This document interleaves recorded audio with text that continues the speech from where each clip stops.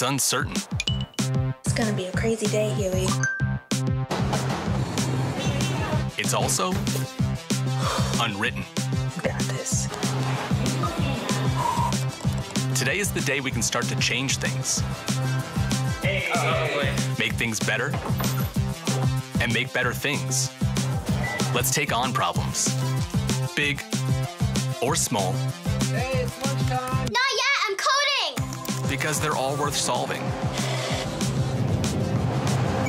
Let's make tech more helpful, more open, and accessible to everyone. Let's keep data safe and people safe. Look after the environment and each other. Today may surprise us, push us, even scare us. That's why we're here. Let's take those challenges and make something even better for tomorrow.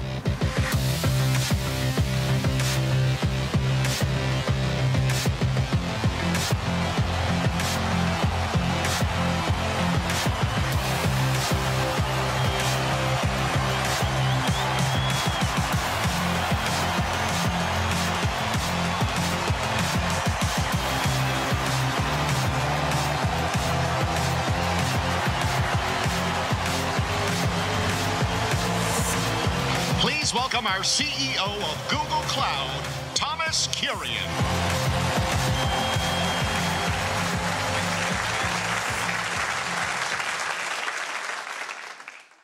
Wow. Hello, welcome to Cloud Next. It's wonderful to join you from New York to begin our global 24 hour broadcast with keynotes happening live here in New York, San Francisco, Tokyo, Bengaluru, and Munich. It's my pleasure now to kick off today by welcoming Google and Alphabet CEO Sundar Pichai. Thank you, Thomas. And thanks to everyone joining us today. Wish I could be there with you in person. I'm glad that today's event spans the globe. It's a representation of the hybrid world we live in today. We're honored to build products that help make this hybrid reality work even better. From Google Workspace, the productivity and collaboration apps that help 3 billion users, including us, get things done, to the cybersecurity that keeps customers safe. And we are doing it all on the cleanest cloud in the industry. We are seeing incredible momentum. Cloud is one of our fastest growing businesses. In Q2, we were at a $25 billion annual revenue run rate. Google Cloud helps us advance our mission and makes Google work better. It's what enables us to share innovation and investment from across Google with companies, governments, and organizations worldwide. For example, we developed our global network, including 22 subsea cables, to bolster our infrastructure and improve the performance of our products like YouTube. Now it's available to our customers as well. We developed BigQuery to help our search customers, and now every company has access to the most powerful analytics.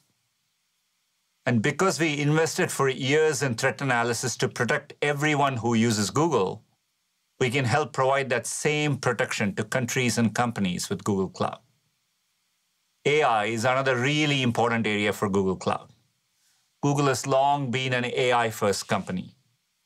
We've made progress in some of the most challenging areas of research, including translation, computer vision, and natural language processing. These advances are powering helpful product innovations, from enabling people to search using video and text simultaneously, to summarizing long documents and highlighting what matters. Google is also applying cloud AI tools to help solve our own business challenges. I'll give you an example. Google's products are used by people around the world who speak thousands of different dialects and languages. It's really important we can provide translations so everyone can access them. Advances in AI are making it easier to translate languages, including languages that aren't well represented on the web. Earlier this year, we added 24 new languages to Google Translate with machine learning techniques that can translate new languages without ever seeing a direct translation. Advances like these, along with Google Cloud AutoML and the help of local experts, enable us to translate more content than ever before. Today, we are launching Translation Hub to bring these capabilities to deliver translation at scale for all of you. It is Google Cloud's AI agent that helps companies translate content in over 135 languages. It takes full documents, including images, and translates them while preserving layouts and formatting, enabling researchers to share their findings with global audiences, helps providers of goods and services to reach underserved markets, and governments to better serve all of their constituents. Translation Hub joins other AI agents from Google Cloud that apply AI to common business tasks. Fortune 500 company Avery Dennison is using Translation Hub to translate internal communications and engage employees globally. This capability promotes a more inclusive workplace with employees able to communicate and be understood. Translation is one way AI is becoming more accessible and common. We are seeing more examples every day. During the pandemic, more than half of companies accelerated their AI adoption plans, and 86% said that it's becoming a mainstream technology. We are at a tipping point, and companies are turning to Google Cloud to help. One of the most powerful AI applications for organizations is the ability to extract insights and predictions from their data, specific to their business needs. For example, Munich Re, one of the leading reinsurance companies in the world, is collaborating with Google Cloud to use AI to respond to natural disasters quickly and thoroughly. Our tools help them to build better damage detection models faster and more cost efficiently. This speeds up response time, helping get people and resources where they are needed most. Likewise, Frontier Development Lab, in partnership with NASA, Google Cloud, and others, has created the first 360 degree view of the sun. Using AI, they combine data from three NASA satellites, making it possible to observe the sun from any vantage point. This will help scientists better predict the impact of the sun's activity on our planet. They're also using AI to see the moon's permanently shadowed regions as if it were daylight, an important step in lunar exploration. Finally, they've built models that take existing satellite images and transform them to represent accurate flood predictions. This helps planners and rescue groups anticipate the impact of flooding to better protect communities. Looking ahead, there is a new frontier of computing that will extend this further. From augmented reality that delivers translation and transcription directly in your line of sight, to advances in hardware and software that make it feel like you're in the same room as a coworker miles away. That's a new technology we've been working on called Project Starline. It creates a 3D model of a person, making it feel like you're sitting with someone in the same room, not at the other end of a video call. After thousands of hours of testing in our own offices, including demos with enterprise partners, we are seeing promising results. Users noted the powerful ability to make eye contact and how much more engaged and connected they felt. Today, we are announcing an early access program with enterprise partners, including Salesforce and T-Mobile. Starting this year, we'll begin installing Starline prototypes in select partner offices for daily testing. It's a really exciting next step, and we are looking forward to improving this technology together. When more people businesses and organizations have access to the power of advanced technologies, amazing things happen. That's what I see as the future of Google Cloud, and we are grateful for the opportunity to partner with you on this journey. Thank you all for being part of Cloud Next, and back to you, Thomas. Thank you, Sundar.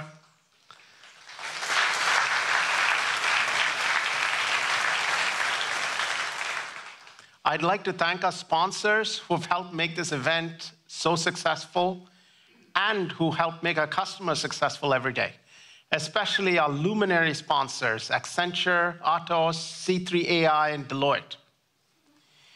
Now, our vision for cloud computing is to simplify all of the technology that organizations need, making it accessible by simplification to every organization around the world as software platforms that provide the foundation for your business to digitize and accelerate.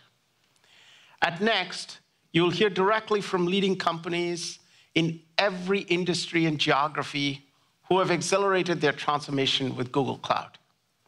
In media, Global live streamed the Tokyo Olympics to all of Latin America and hosted over 55 events. In automotive, Group Renault analyzes more than a billion data sets from their factories every single day, saving more than 100 million euros in 2021 alone. In retail, H&M Group is improving its customer experience and optimizing its internal supply chains. Home Depot saved 30% by consolidating and modernizing its systems. And Fnac Darty in France is converting more customers with Google quality search and recommendations. In telecommunications, for instance, Bell Canada is deploying 5G network functions in less than a week compared to the industry standard of over six months.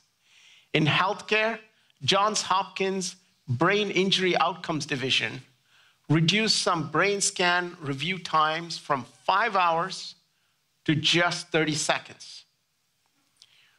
We're helping financial services companies transform too. The Chicago Mercantile Exchange, or CME Group, now offers real time market data for about 90% less cost. Prudential plc is enhancing health and financial inclusion across all of Africa and Asia. ANZ Bank is giving actionable insights 250 times faster. Commerzbank migrated 135 databases to run on Google Cloud across 35 applications in less than nine months. And Minna Bank in Japan runs its core banking system on Google Cloud. So, as you can see, Google Cloud is accelerating the transformation of global leaders in every industry. Google Workspace today helps 8 million customers to transform the way they work, up from 6 million just two years ago. And we continue to be the top cloud for technology companies. Did you know that 70% of the top 100 unicorns in the world run on Google Cloud, including ShareChat in India, Tokopedia in Indonesia, Sift Analytics in Africa, Wix in Europe, and DoorDash in the United States. Now let's hear directly from a few of our customers.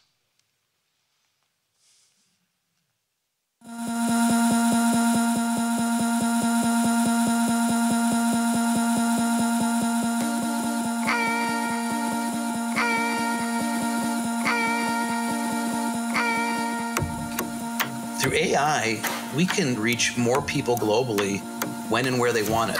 It's the power of representation. It's giving Spanish speaking audiences content specifically made for them by them.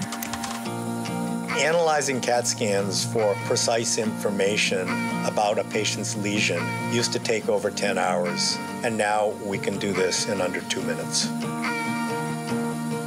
sustainability is absolutely critical to our consumers. With Google Cloud, we can build a much more traceable and transparent supply chain. This helps us to stop deforestation and combat climate change. Google Cloud helps us monitor risk across vast amounts of data. We care deeply about the financial well being of institutions, corporations, and individuals. Data is, is a foundational need for Twitter. And that data is really responsible for connecting people to their interests, connecting interests amongst each other, and having that deeper conversation.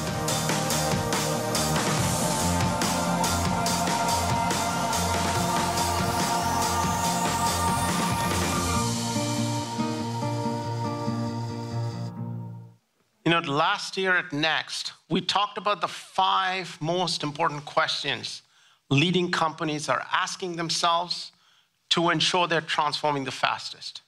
Ford is a leader in the automotive industry, and it's rapidly transforming by adopting technology. We're very proud to have CEO Jim Farley discuss the journey with us. Thanks, Thomas, and hi, everyone. It's so great to be with all of you. At the heart of our business at Ford is a commitment to meet the evolving needs of our customers. Now, that is a lot of corporate speak, but I want to spend time with you today to bring to life our transformation. Technology, in particular, digital capability to connect a car, shipping software to cars, allows us to deliver and develop a customer relationship in ways we've never been able to do in 119 years. So this is a really big deal for us at Ford and for me. The real revolution in auto is digital. And Ford intends to lead that revolution. We're turning our vehicles into generators of data that will receive continuous updates. We can ship software directly to the car, delivering incredible value for our customers. Now, we're just approaching 5 million software updates. We're leveraging that data in new ways, like telematics for our commercial customers in Ford Pro. We see our vehicles being able to do preventable diagnosis themselves for service. We're investing in a whole new generation of talent. Coders, software engineers from so many tech companies want to join Ford because they know we're going to ship some great software and some great products. And Thomas, I'm sorry, some of those are coming from Google. Uh, but we're really excited about all the work we're actually doing with Google, who is a fundamental change agent for this incredible change to Ford and our customers. We're supercharging our use of AI and ML to drive innovation across our company. We doubled our number of AI-powered solutions last year by putting advanced AI and ML capabilities in the hands of our employees, not just our data scientists. These advanced software tools make EV charging easier, our parts shipment more efficient. They even help us race better on the weekends. We're using Google Data Cloud to power operational data and analytics to improve our manufacturing operations, efficiency, and quality. I hear this all the time when I go to our plants. We're glad to be on this journey with a great innovative partner like Google and Google Cloud. Thank you for having me.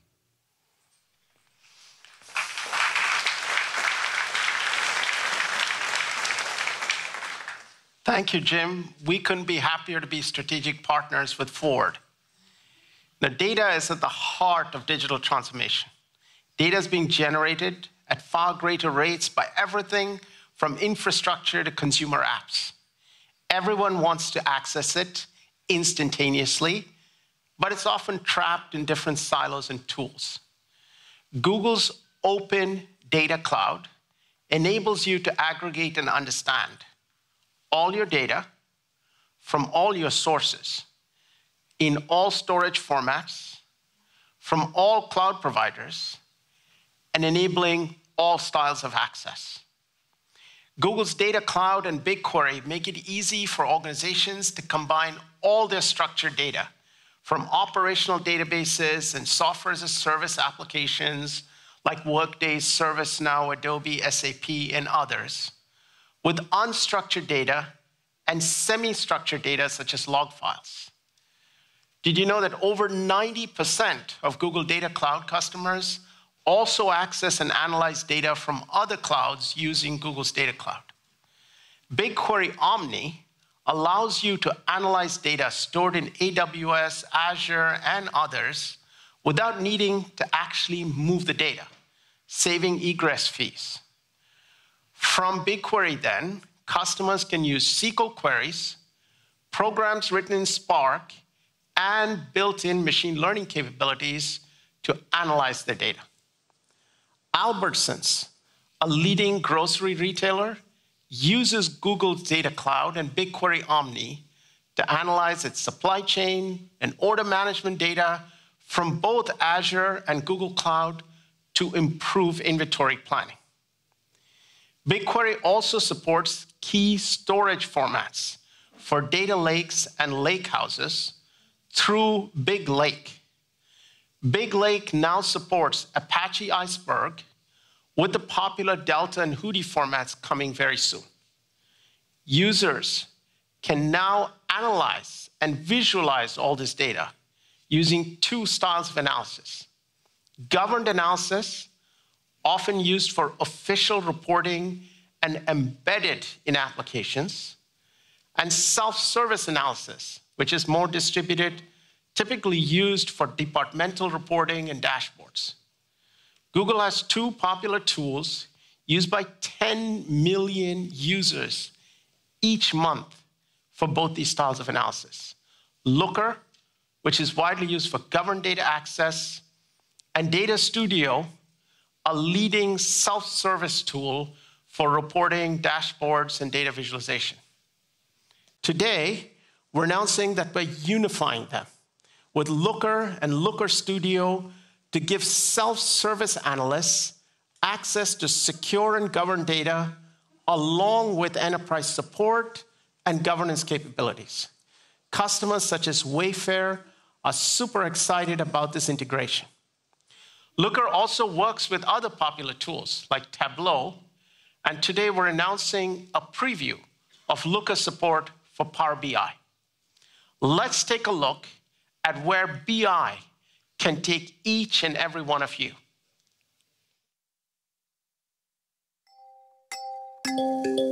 Google products provide the information you need when you need it. But why can't you get the same kind of answers for your business? Looker, Google Cloud's business intelligence solution, is here to solve that problem enabling you to go beyond traditional dashboards and make your organization's information accessible and useful. Bringing this innovation to business will be revolutionary, just like navigating a city after Google Maps. Looker is Google for your business data. Here's what we mean. What if Google AI were built into the tools you use to store and analyze data at work? Google's Vertex AI Vision takes data like video, images, and audio, and in real time turns it into structured data ready for business intelligence. Going beyond the dashboard means using Google Glass Enterprise to see insights and recommendations based on your data in real time. More access, more transparency. Now that's Google for your business. With Google Maps, you know if a restaurant is busy before you go, or you can get rerouted around a traffic jam. Looker will help you connect similar dots in a predictive way. A concert in five days will increase foot traffic by 65%. Would you like to adjust staffing and inventory? Yes. Looker and AI lets you respond to changes in demand and turn insights into action. Foot traffic continues to be busy. Encourage customers to visit an alternate shop with a reward card? Yes. Smarter insights mean better experiences and happy customers. So go beyond the dashboard and transform the way you do business with Looker, powered by Google Cloud. You know, data becomes even more powerful when it's used in concert with AI and machine learning. Let me introduce June Yang, Google's Cloud's Vice President of AI and Industry Solutions, to tell you more about our vision.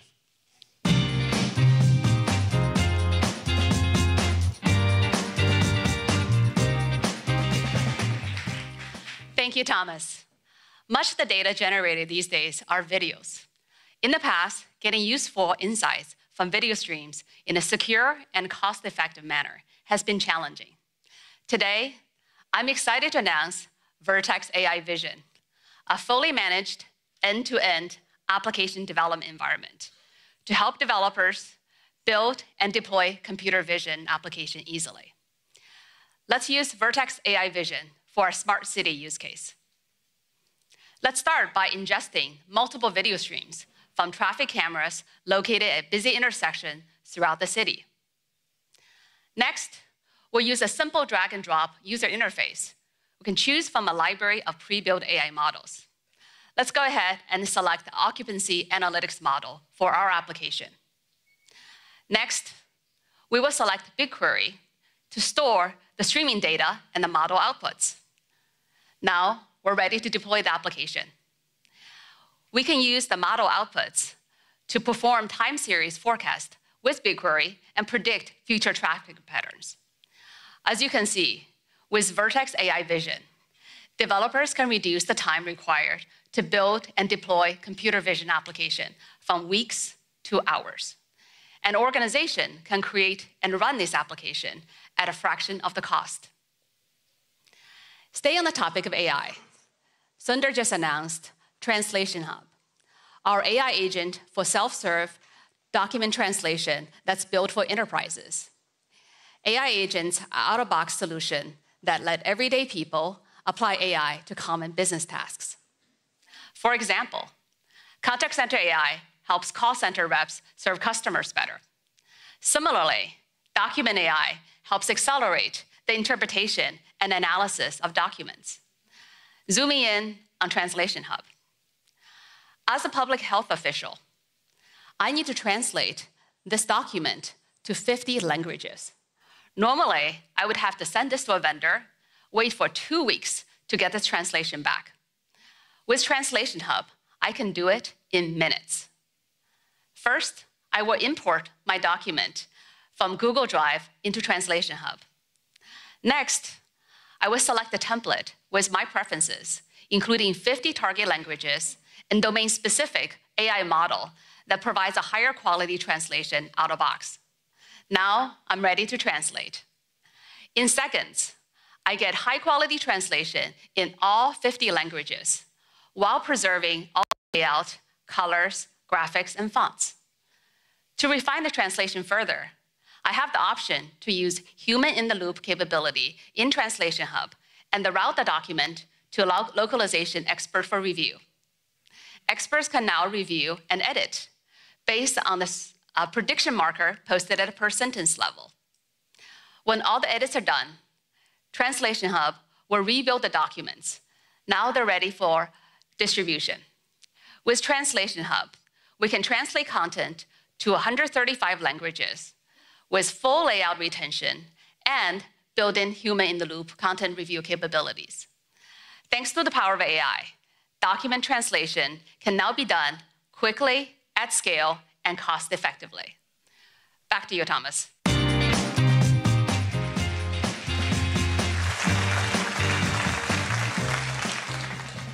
Thank you, June. Our open data cloud simplifies access to data from software as a service applications. With SAP, we have created a framework with predefined integrations, BigQuery data models, and out-of-the-box reports. For ATB financials, month-end processes that used to take five hours now run in just seconds. Rodan and Fields can now analyze shopping behavior and forecast their sales more accurately. Further, over 800 software partners are building their products using our data cloud. And 17 of the most influential data companies have joined us today in the Data Cloud Alliance to commit to open standards and interoperability. Today, we're pleased to announce that we've expanded our partnerships with MongoDB, Elastic, Collibra, Palantir, ServiceNow, and many more. We also have a new partnership with Sisu Data. Now let's talk about developers and builders. Today, developers have more options than ever before. But this array of choices has often led to complexity, a loss of developer productivity, and have often exposed developers to software vulnerabilities. To address these challenges at Google Cloud, we have created opinionated golden paths, starting all the way from the IDE through the build, deploy, and operations process to help developers create software faster and more securely. Today, we're launching Software Delivery Shield, which provides a fully managed end-to-end software supply chain security solution from source to deployment. It has four important components. First is cloud workstations, now in public preview. Instead of being just another cloud-hosted IDE, Cloud Workstations provides a secure developer environment, especially for remote developers and contractors who work with sensitive data. Second, with our assured open source software service, Google now scans, analyzes, and fuzz tests over 250 of the most widely used Java and Python packages, providing you with secure software libraries that you can depend on. Third, Cloud Build, our continuous integration service, now provides support for SLSA Level 3 compliance by default. SLSA is an emerging open standard to ensure that the software you use or your software supply chain is secure. Fourth, the new GKE Security Management Dashboard provides you with opinionated guidance to improve the security posture of your container workloads. In addition to helping you build more securely, we're also announcing a number of advances to help you build more productively. With streamlined environments centered around popular developer stacks, including Flutter and Firebase, MongoDB Atlas, Angular, and Node.js on Cloud Run, and collaborative development using Replit. To simplify how you scale and operate environments, we continue to advance GKE Autopilot. It enables developers to deploy and scale containerized applications over two and a half times faster than the competition. Customers like Lowe's are already benefiting.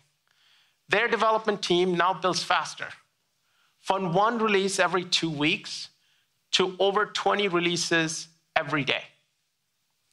The team at Allstate built an application in just 90 days to show customers how to more clearly and securely protect their homes. To help developers learn faster, we were the very first cloud provider to launch a learning subscription.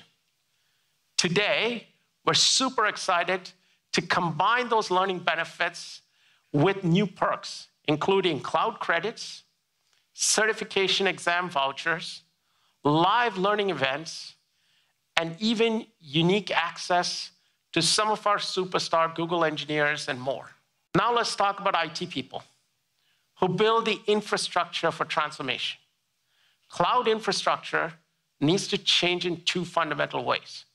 First, customers increasingly want to use cloud infrastructure for new types of workloads. Second, with Moore's law slowing, new infrastructure advances are required to deliver performance improvements. We call this at Google workload optimized infrastructure and we're optimizing for seven key workloads. For AI optimized infrastructure, we built the Tensor Processing Unit. TPU version 4 is now generally available and runs large scale training workloads up to 80% faster and 50% cheaper.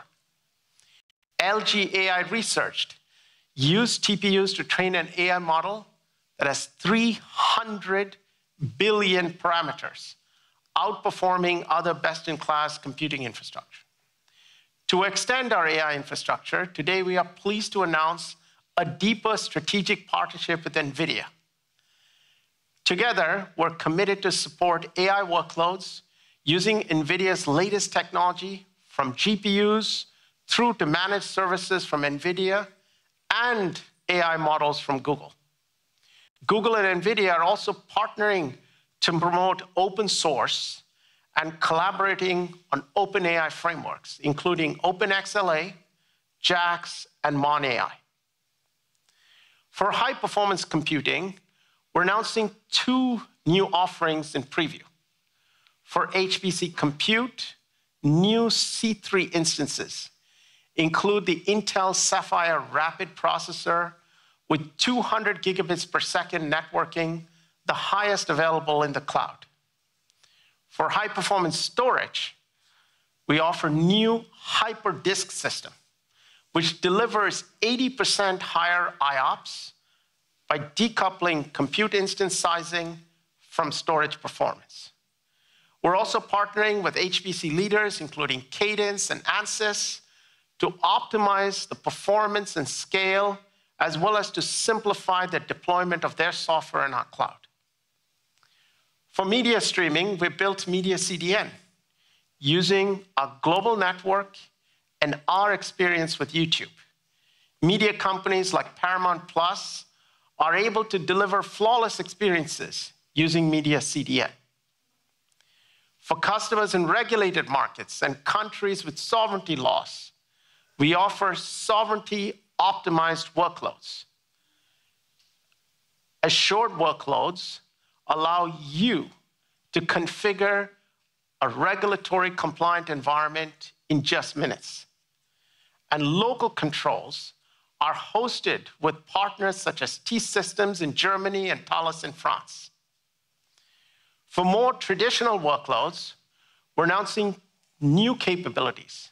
First, with VMware Engine Universal Integration, enabling you as a user to create and migrate VMware workloads directly from the VMware console. We're also announcing Dual Run, a new capability to rehost mainframe workloads in the cloud. Now, most new projects want cloud-first optimized workloads. To simplify operations, we've automated managing and scaling clusters with GKE Autopilot and Anthos Multi-Cluster Management. To bring you edge computing, Google Distributed Cloud Edge, powered by Anthos, provides you a fully managed edge for low latency applications. It's being used to power telecommunications networks at Bell and Jio, and is modernizing retail stores in many countries. We're also creating Web3 optimized infrastructure.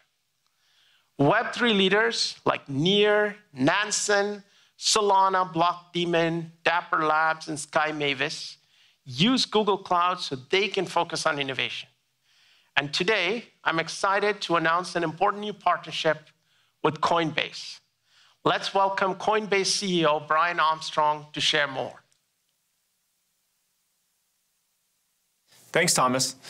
We're excited to be working with Google Cloud on this partnership. Coinbase has more than 100 million verified users, more than 14,000 institutional clients, and we've spent more than a decade building industry-leading products on top of blockchain technology we see our collaboration with Google as an opportunity to bring Web3 to a new set of users and provide powerful solutions to founders and developers. There are four key aspects to our partnership.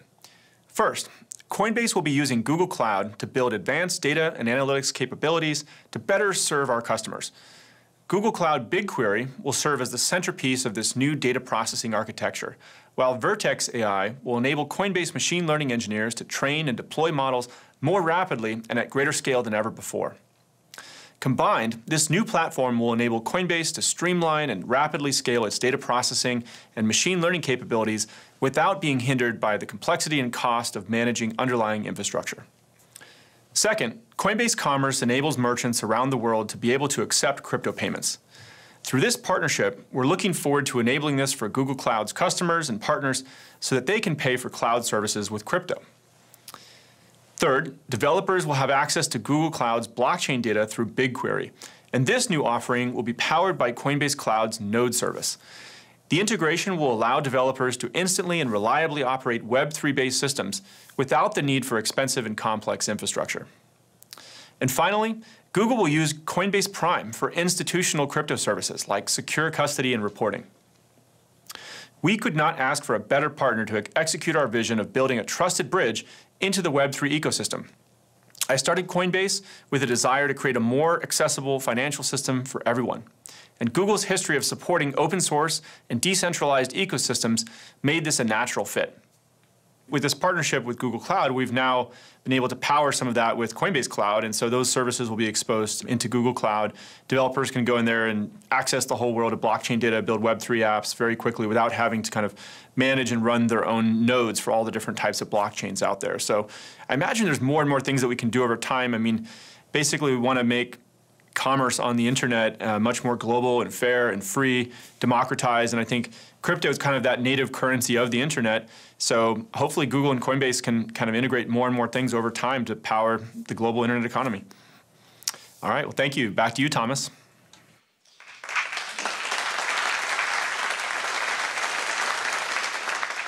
Thank you, Brian. Google is excited to partner with you. In order to support all of these workloads, we're continuing to invest and expand our global footprint. I'm excited to share that we're announcing new cloud regions in five countries Austria, Norway, South Africa, Sweden, and Greece. We now have 48 regions live or announced. Now let's talk about security people.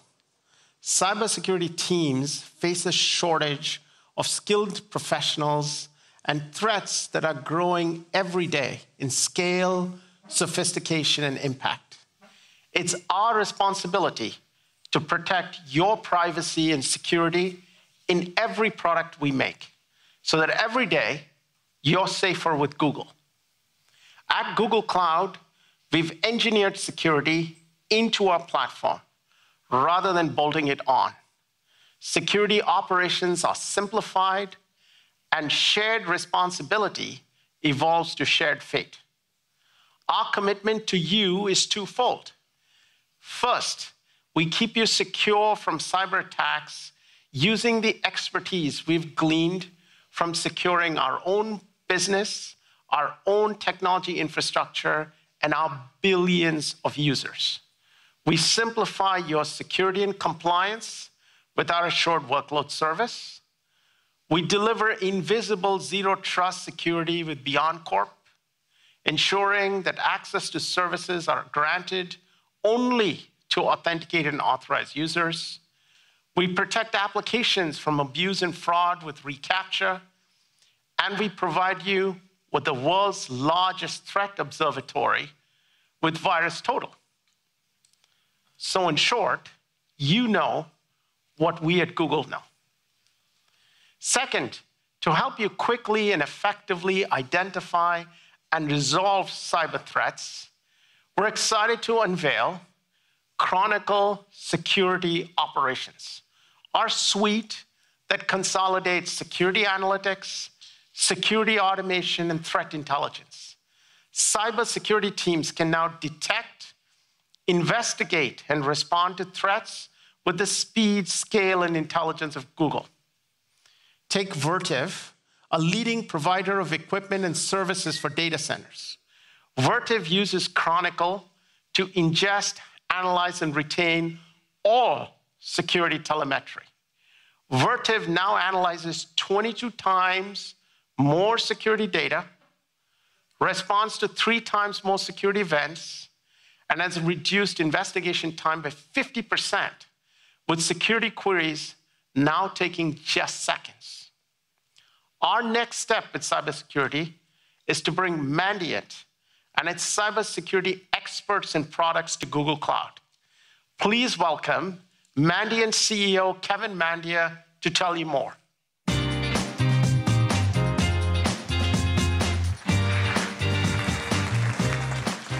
Thank you very much. Thank you, Thomas. Moore's Law may be slowing down, but threat actors in cyberspace are not. Uh, our mission at Mandiant has always been to secure companies and make them confident in their readiness as they operate their businesses. And to scale this vision, we want to take our security expertise and our threat intelligence and make it software available to all companies. And this is something we've been focused on for a long time. Mandiant is known for being, I believe, the best in the world at threat intelligence. We were designed to know more about threat actors than anybody else on the planet. And we are now combining our security expertise and our threat intel with the AI and compute speed and analytics of Google so we can bring this vision to everyone. And as a result, we can effectively automate the often human intensive process of understanding the threat actors, find the needle in the haystack, and be able to do shields up against these attacks. And together, we can deliver on that shared mission of a more secure world.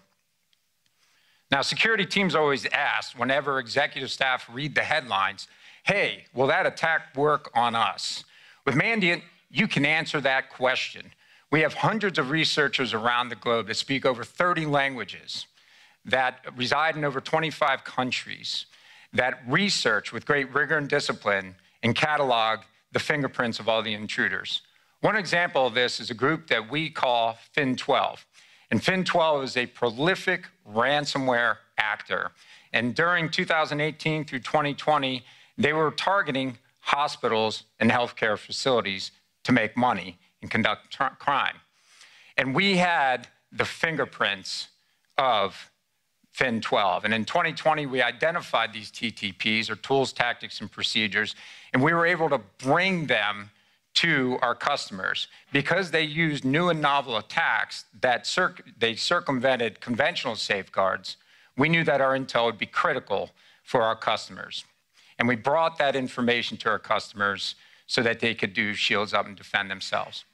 Now, having these early warning signs or these indicators is critical for an organization to operate confidently in cyberspace. And uh, many times, if Fin12 was in your network, you only had an hour or so to do something about it before you had a significant impactful breach. So with Google Cloud, we're able to analyze what's currently happening as well as historical data in Chronicle and use machine learning and data analytics to find that proverbial needle in the haystack, in this case, Fin12. But we know about the new and novel, and we learn more every single day. We can put the defenses in without requiring you to do any manual work at all. Once we know how the attackers operate, and we're usually the first to know, we can help customers take the preventive measures necessary to operate with confidence.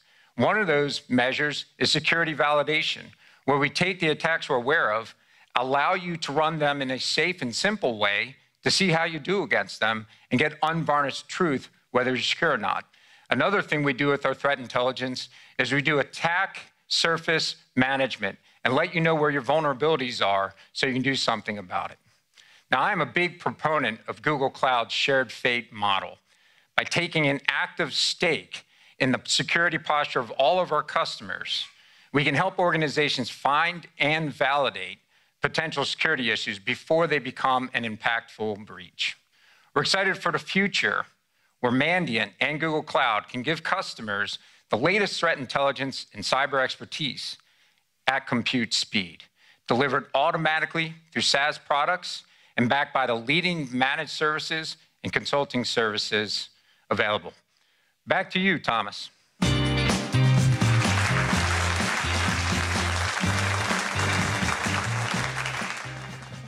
Thank you, Kevin.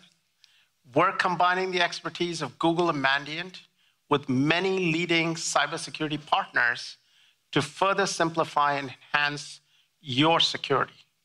To simplify multi-vendor security, we enable customers now to use their preferred identity provider, including Okta, Ping, ForgeRock, or JumpCloud, so there's no need to maintain identities in multiple places.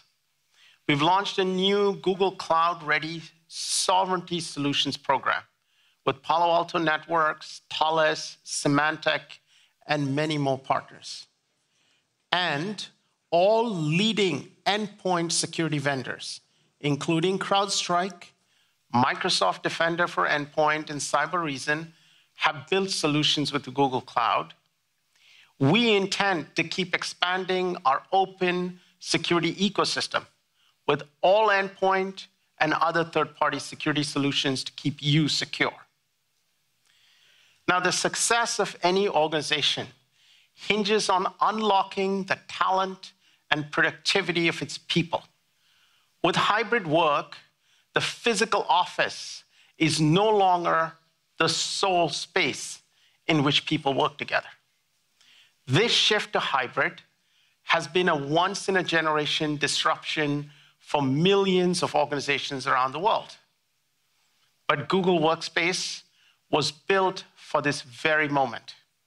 Workspace is the world's most popular productivity tools with over 3 billion users and more than 8 million paying customers.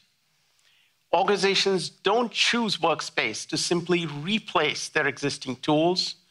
they choose to transform it the way in which they work.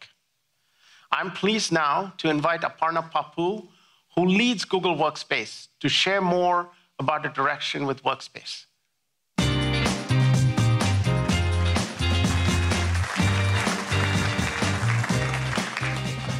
Thank you, Thomas. Those are phenomenal numbers. But these aren't just numbers to us, they're real people, real organizations. And our mission is to meaningfully connect people so that they can create, build, and grow together.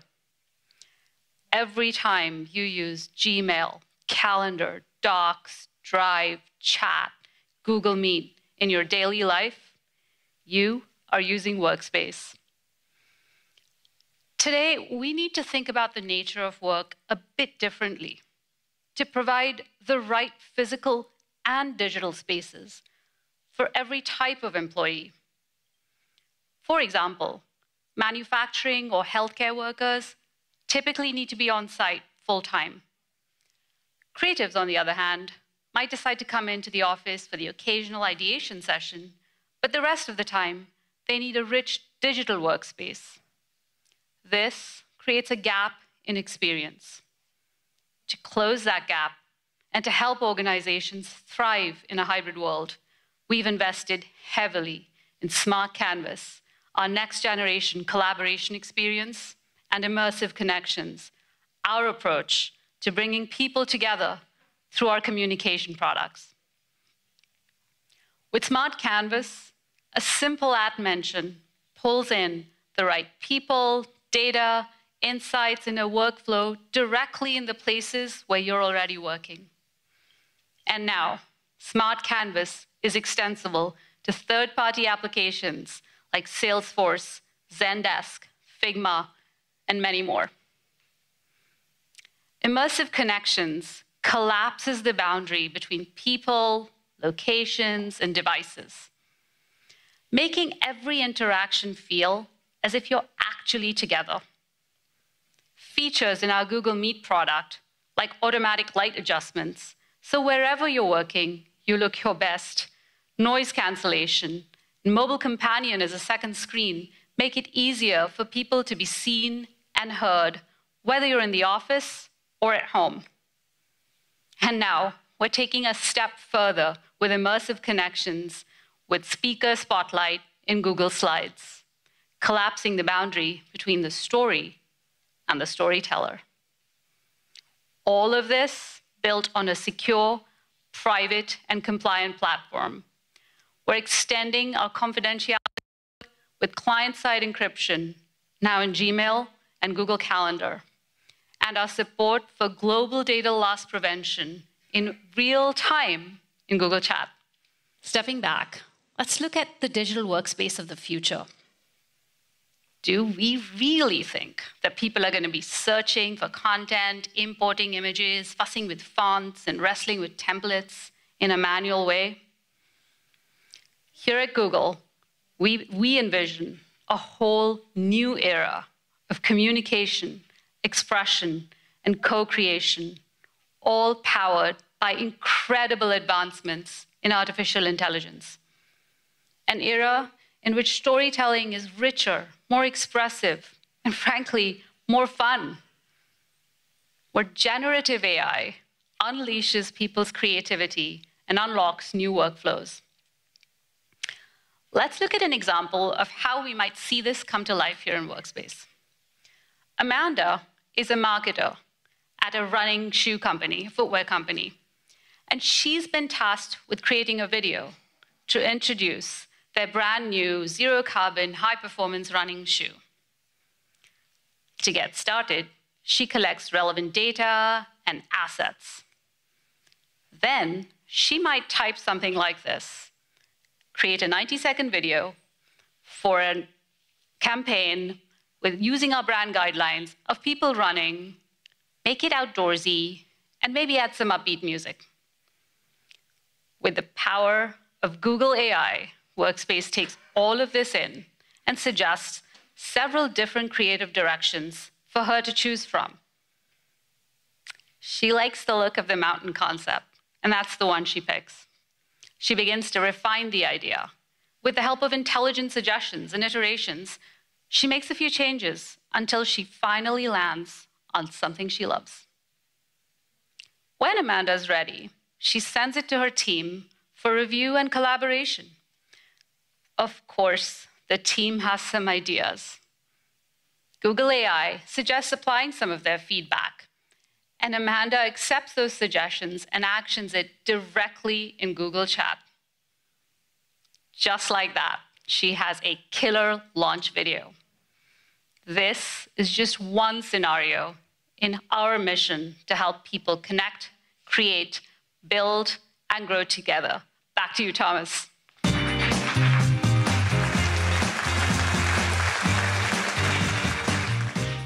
Thank you, Aparna. When it comes to climate change, people, governments, and corporations are more motivated than ever before, but they need access to the right information to measure and improve upon their ESG commitments. Google's search interest for how to reduce my carbon footprint has risen by 460% over the past 10 years. Today, Google Cloud is making it easier for our customers to make better sustainability decisions every single day. I'm pleased to announce that Google Cloud Carbon Footprint is now generally available and free for every user in the Cloud Console so that you can see and optimize your carbon impact. Shopify uses detailed emissions data to drive their mission to be the lowest carbon commerce platform. Earlier this year, we announced the general availability of Earth Engine on Google Cloud for better climate risk prediction and resilience.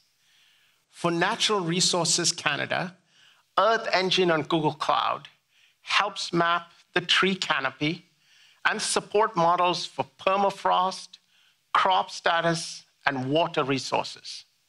With this data, provinces can monitor their land status and identify how to rehabilitate and transform these sites.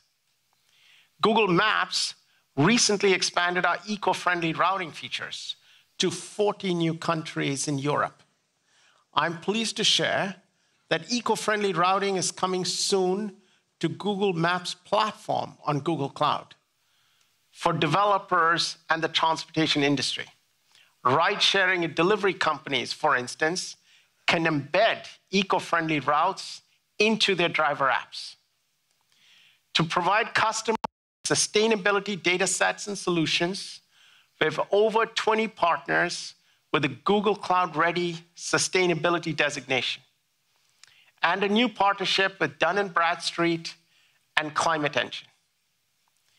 Now, as we wrap this keynote, I want to share my appreciation for all of the people who are building and transforming their business with Google Cloud.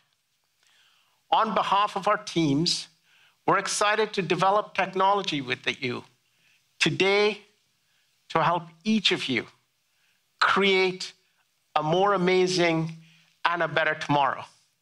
Thank you so very much, and enjoy the rest of Google Cloud Next.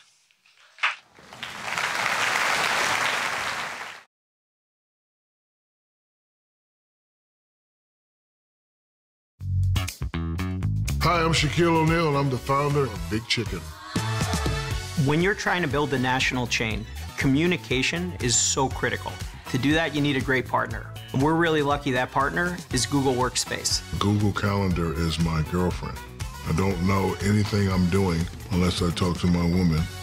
Google Workspace, productivity and collaboration tools for all the ways you work.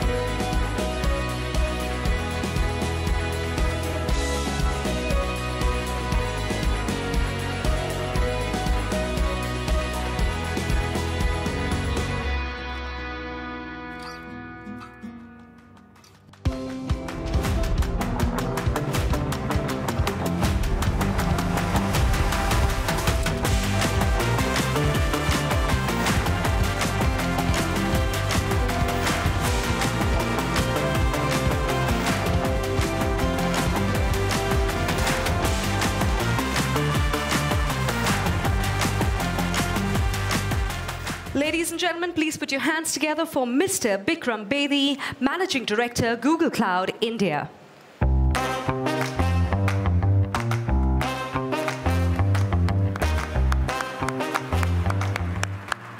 Good morning. Welcome, everyone. It is my privilege to kick off this event today. This is such an awesome day to have so many developers and IT practitioners here with us. Let's begin Next 22 with a message from Google Cloud CEO Thomas Kurian. Video, please. Hello, India. This year's Google Cloud Next is being held around the entire world in New York, California, Tokyo, and now to Namma Bangalore. I'm honored to join you today alongside the launch of our largest ever regional developer event, Innovators Hive. Navigating these past two and a half years has been a challenge for organizations as they grapple with changing customer demand and growing economic uncertainty. One trend that has quickly emerged is that leading companies across every industry around the globe have realized that digital transformation has to be an urgent priority for business recovery and future growth. For example, in retail, we've all seen the shift to e-commerce. In manufacturing, we're seeing a rise of the digital factory. And in finance, we've seen a sharp increase in online banking and insurance. A lot of cloud work to date has been focused on cost optimization, reducing cost by moving technology to the cloud and by using collaboration tools to be more efficient. As we look forward, companies and customers want more than just cost optimization. They also want value creation. Cloud has to deliver more value and more innovation to organizations. That's why our mission at Google Cloud is to help accelerate every organization's ability to digitally transform its business. And we've been proud to partner with leading companies in every industry, like Reliance Jio, HDFC Bank, ShareChat, Flipkart, and the Adani Group to enable their growth and to solve their most critical business and technology problems. We believe our success comes when our customers and partners succeed, and our partner ecosystem continues to grow. A great example of this is our work with partners, including Accenture, Deloitte, Searce, NTT, NetMagic, and Tech Mahindra, to provide customers with choice and solution completeness to support industry-focused digital transformation. We're also pleased to be empaneled by the Ministry of Electronics and Information Technology. This empanelment enables the Indian public sector, including government agencies at the center and state levels, and public sector units in power, transportation, public financial services, and others to deploy on Google Cloud. We're committed to the digital transformation of all businesses across India, and we continue to invest in our cloud regions to support sovereignty, security, and sustainability requirements while we create more value together on your terms.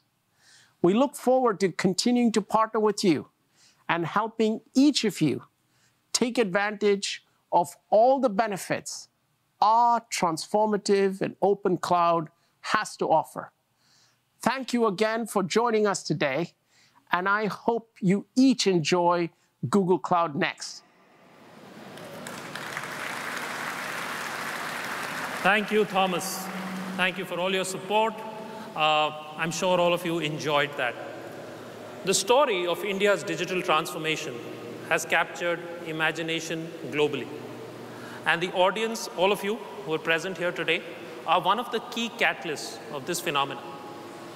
I think all of you are going to agree with me when I say that the power of cloud computing, With that, we are able to build scalable and sustainable solutions right here in India. Our mission at Google Cloud is to accelerate every organization's ability to digitally transform its business. The building blocks of this journey, the, they, they really are the engineering and the developer communities. And all of you, the Indian developers, are truly shaping the future of technology. And our country is uniquely placed to continue driving innovation and building what's next.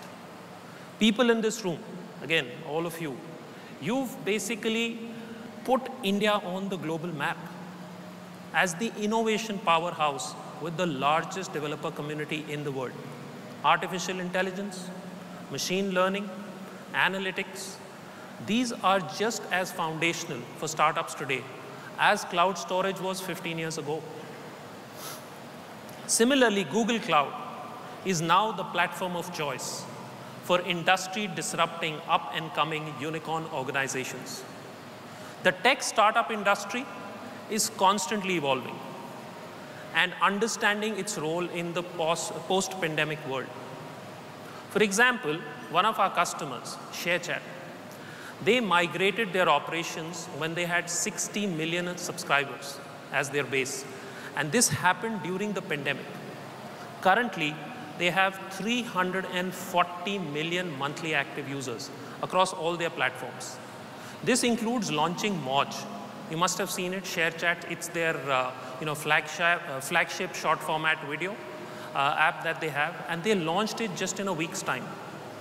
The power of cloud technology enabled ShareChat to scale and innovate. Another example that we have is with our customer Mahindra and Mahindra, the auto giant. They recently had a new launch. Uh, this was for their SUV, uh, Scorpio, uh, Scorpio N. I think some of you in this room may have booked. Uh, the launch was a recreation of India's most iconic SUV brands. It was expected to generate huge public interest. Now, Mahindra and Mahindra partnered with us at Google Cloud. And we built an architecture that supported the scale they expected on the launch portal on the day of the launch. In collaboration with Mahindra and Mahindra, we built an architecture to scale with a strong security posture. That was like table stakes. And this launch was a grand success. This happened a couple of months ago, resulting in the Scorpio N reaching 25,000 bookings in the first one minute. 100,000 bookings in 30 minutes, and an ex showroom value, thank you, an ex showroom value of $2.3 billion, Scorpio N. And all of this was powered by Google Cloud. With flexible cloud infrastructure and the containerized approach to scale enabled by GKE, customers are successfully scaling their business on Google Cloud. Ours is the most developer-friendly cloud, providing all of you with the technology, the tools, and the open approach that you need to innovate and build for the future. Open source is a key driver of innovation, and developers want to work with open source technologies. With its long history in Kubernetes, containers, open source is in our DNA at Google. Additionally, Anthos, gives developers a platform that enables them to build across multiple environments. Finally, as Thomas mentioned, we announced our Delhi NCR region. Uh, this was announced uh, last year to support customers and the public sector, government workloads. We are very proud to announce that our cloud regions in Delhi NCR and Mumbai are now empaneled by Ministry of Electronics and Information Technology.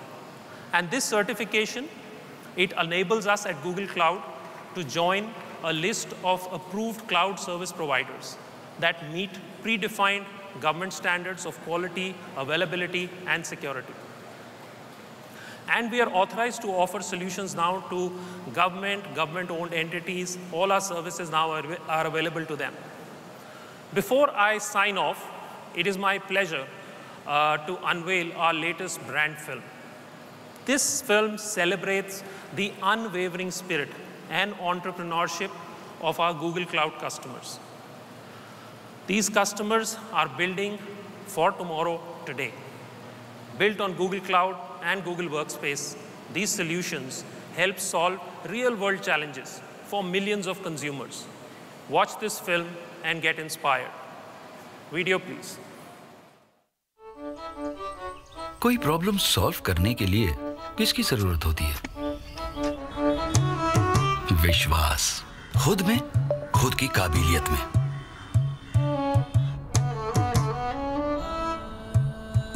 विश्वास की problem solve हो सकती है। विश्वास जो हर फ़सल को सफल कर दे। जो इंग्लिश न जानने की शर्म मिटा दे। जो बढ़ने की चाह को राह दिखाए। कुछ बदलने नहीं वाला तो सब बोलते हैं। पर कभी कभी सोचना पड़ता है, कैसे बदलेंगे?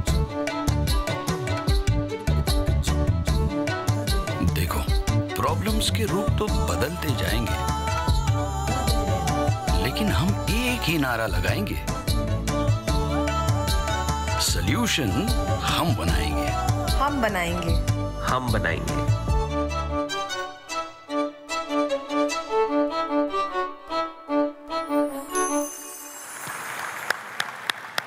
जी हाँ हम बनाएँगे। We are excited to shape India's digital future. Let's build this future together. Thank you.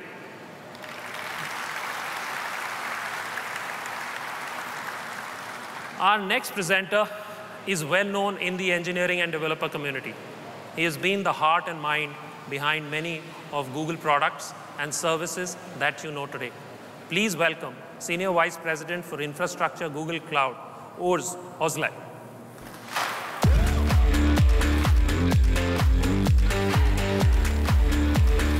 Hi, everyone. Hi, everyone. Thank you for having me here in India. And I have to say, it is so great to be back in person to see all of you. Because today is going to be all about you, uh, developers.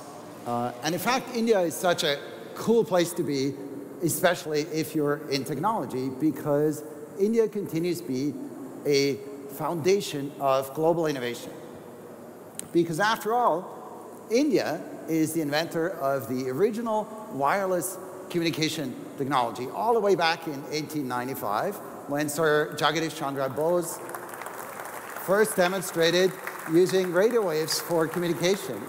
And then a little bit later in 1930, C.V. Raman became the first Asian to receive a Nobel Prize in any scientific uh, discipline because his discoveries remain incredibly important uh, to telecommunications even today, which is why we've celebrated his uh, 125th birthday with a Google Doodle, and why we are naming our upcoming cable from Europe to India Blue Raman. Yeah. And then uh, a little bit closer to the present, let's not forget people like uh, Ajay Bhatt, who invented the USB serial bus that we're all using. Yeah. So um, really, throughout time, you know, India has shown how technology changes the world, and we continue to see that today. Because developers in India are turbocharging businesses, uh, big and small. Uh, take, for example, Mahindra Group, where developers are fundamentally, fundamentally uh, rewiring the core operations of one of the largest multinational corporations in the world. Uh, Mahindra is on GCP infrastructure, of course, and uses uh, data and AI services to bring all of their enterprise applications under a single platform. So now they can get real-time insights uh, to best support their global customers from aerospace to education. And breakthrough companies like Roposo are changing the world of social media by combining it with retail. And developers there built a service that reached 120 million daily active users in just 20 months. They are using Google Cloud, of course, and the AI services to uh, serve personalized content uh, for Roposo's next generation experience and their creators, their influencers, in their communities. So yeah, India is way cool. And that's why Google has been investing so much here. In fact, uh, two years ago, we announced the Google for India Digitization Fund for creating uh, digital growth in India. And we committed to an investment of 75,000 crore, or about 10 billion US dollars over the next uh, five or seven years. And we did this to ensure that you all receive more affordable access to information in your own language to help your businesses use cloud technology and leverage AI, and to support rural communities so that they also can uh, join the technology revolution. And since that time, we've also partnered with Airtel to help grow the cloud ecosystem for small and uh, medium-sized uh, businesses. And we also run accelerators dedicated to supporting uh, Indian startups and tech companies uh, like Mind Your Fleet and, and TyrePlex. And of course, we have invested in a cloud presence in India with two cloud regions, one in Delhi, one in Mumbai, uh, each having three availability zones. Now we see such powerful work uh, coming from India, backed by the massive developer demand for our cloud services. There are only, uh, there are over, not only, there are over 4 million developers like you uh, in India, and that's expected to grow to a staggering 7 million uh, in 2025. And that's over 16% of the worldwide developer population. So you all really have a massive opportunity to continue to impact the world with technical expertise. And in fact, when we look at our developer program, Google Cloud Innovators, a full 27% of them come from India. And the broader APAC region makes up 39%. And we learned so much from you, from your usage, your feedback, and we absolutely love your enthusiasm for cloud technology. So thank you, thank you, thank you. But another reason we get excited about uh, working with you all is that you are very progressive in how you think about technology adoption. And that's why we like to release new technologies in India first before other countries. And in fact, we did this uh, very recently in June with uh, Payment Gateway. This is a new API-based payment product, uh, thank you, that allows companies to process payments reliably at scale and it helps their customers more easily predict uh, their costs because it's simply based on the number of transactions.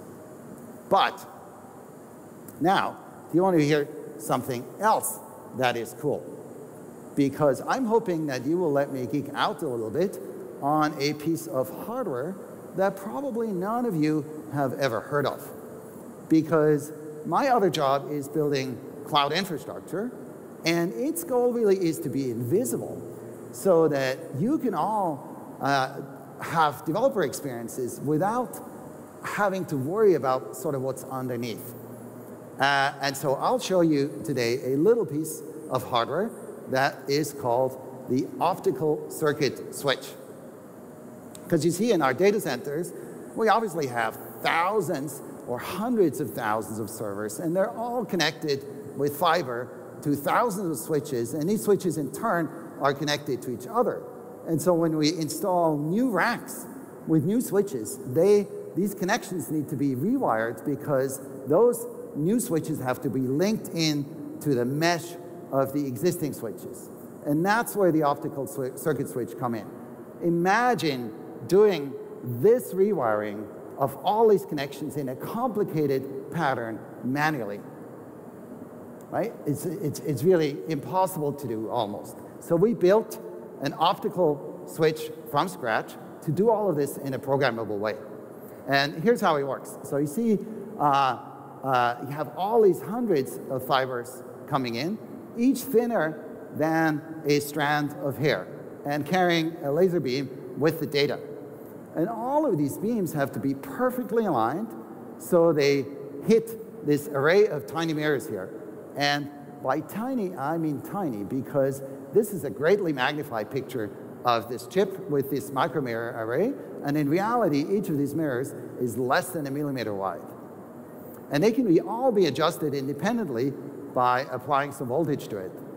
And so as I said, the laser light comes in on one side, uh, and now we need to aim those mirrors so precisely that the laser beam perfectly hits the end of an outgoing fiber strand, and so that the data can go to its destination on the other end. And that's why it's really amazing that it works at all. Imagine having to hit something that is thinner than a strand of hair head on with a laser going through mirrors. But it does work, and it works really well. Thank you, and it's been a workhorse really in our data centers in 2015. And so I'm guessing you never really thought about that problem, and in fact, you don't have to, because that is our goal for infrastructure, to be invisible, to allow you to build awesome developer experiences uh, and never have to worry about any of this. But now, back to you developers, uh, because you're increasingly becoming the technical decision makers uh, in your organizations, because executives ask your opinions on how to achieve business goals with technology and what products and services to use and, and how to use it and how to deploy them. And so as you continue to play a bigger and bigger role in supporting the broader uh, company goals through technology, uh, you'll need to uh, increase your commitment to learn new skills. And not surprisingly, India is leading the world here as well. In fact, the number of Google Cloud learners in India has grown seven times in the last two years. Right? And globally, yeah, seven times. It's really amazing. And globally, all our developers, customers, partners have earned more than 1 million Google Cloud credentials uh, to date. And that's, of course, great news because the demand for Google Cloud experts is really huge.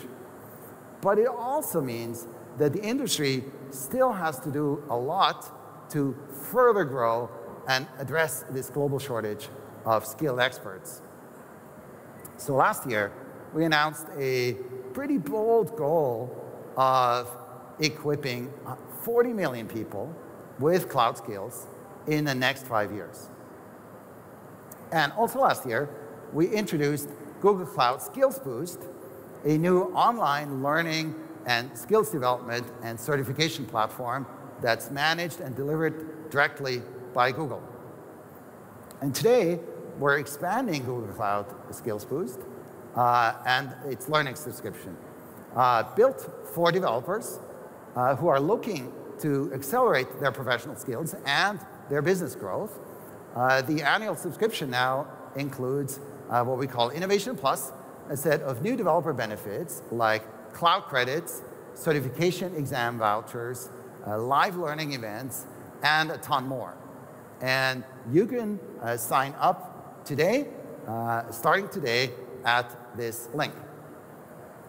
So Google Cloud really offers an incredible array of services, and you know more are coming out every month. But with training programs like these, you can stay up to date, be a core contributor, and help your company achieve its goals with cloud uh, technology. And that's why I personally have never been more excited about the future for developers. Going back to Google Cloud, we built it for developers. Uh, and because we're really inspired by what you've all uh, done with it and what you're doing with it. And our job is to make it easier for you to do what you love and do it faster. So we focus on making it uh, uh, easier to make you more productive, achieve your goals with the least effort.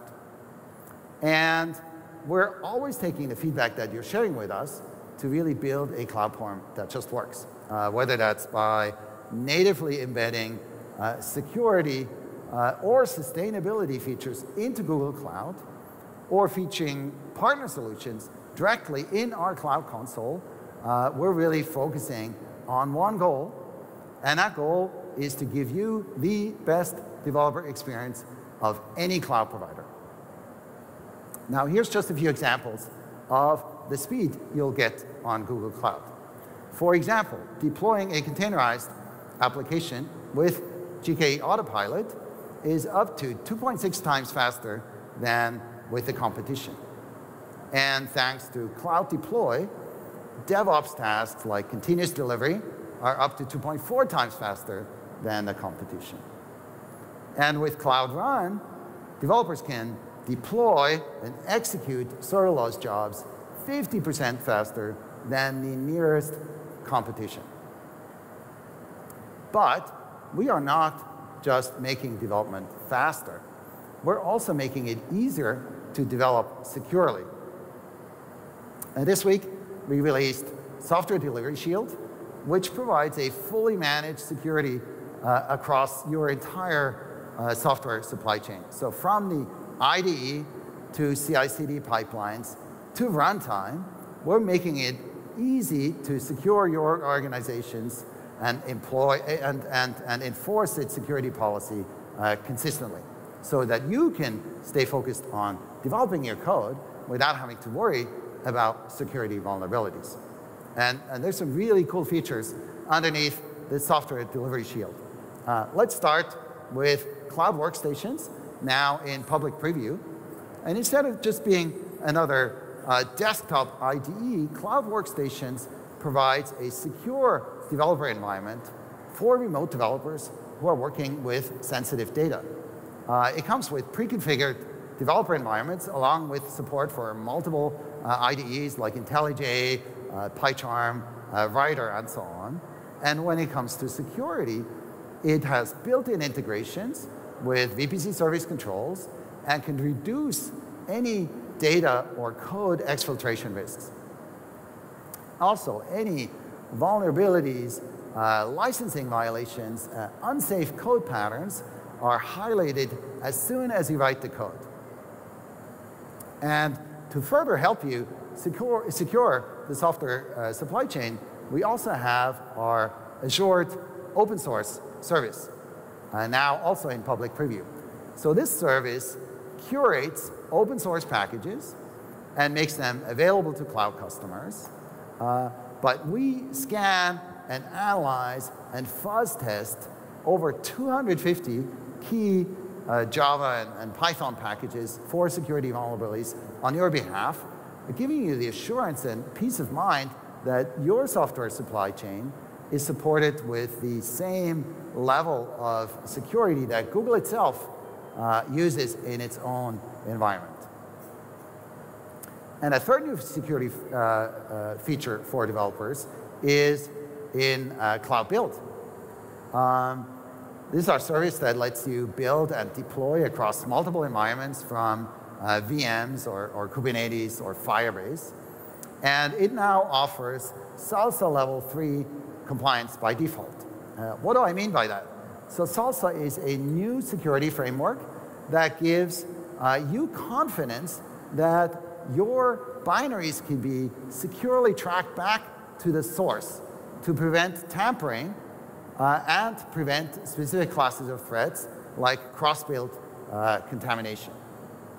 And then finally, both GKE and Cloud Run uh, now come with an uh, opinionated set of guidelines uh, to help you improve your security posture at runtime. So with GKE, you find a new uh, security management dashboard that helps you improve the security posture of your GKE clusters and containerized uh, workloads. So you get uh, detailed assessments, actionable remediation advice, and insights. And Cloud Run also comes with a similar dashboard where you can see information about the, the SLSA level of your running images, about build provenance, or any vulnerability that you have in your running services. Uh, now, seeing is believing, so please welcome the awesome Priyanka Vergadia to the stage, and she will show you how all of this comes together. Uh, Priyanka, please uh, take it away.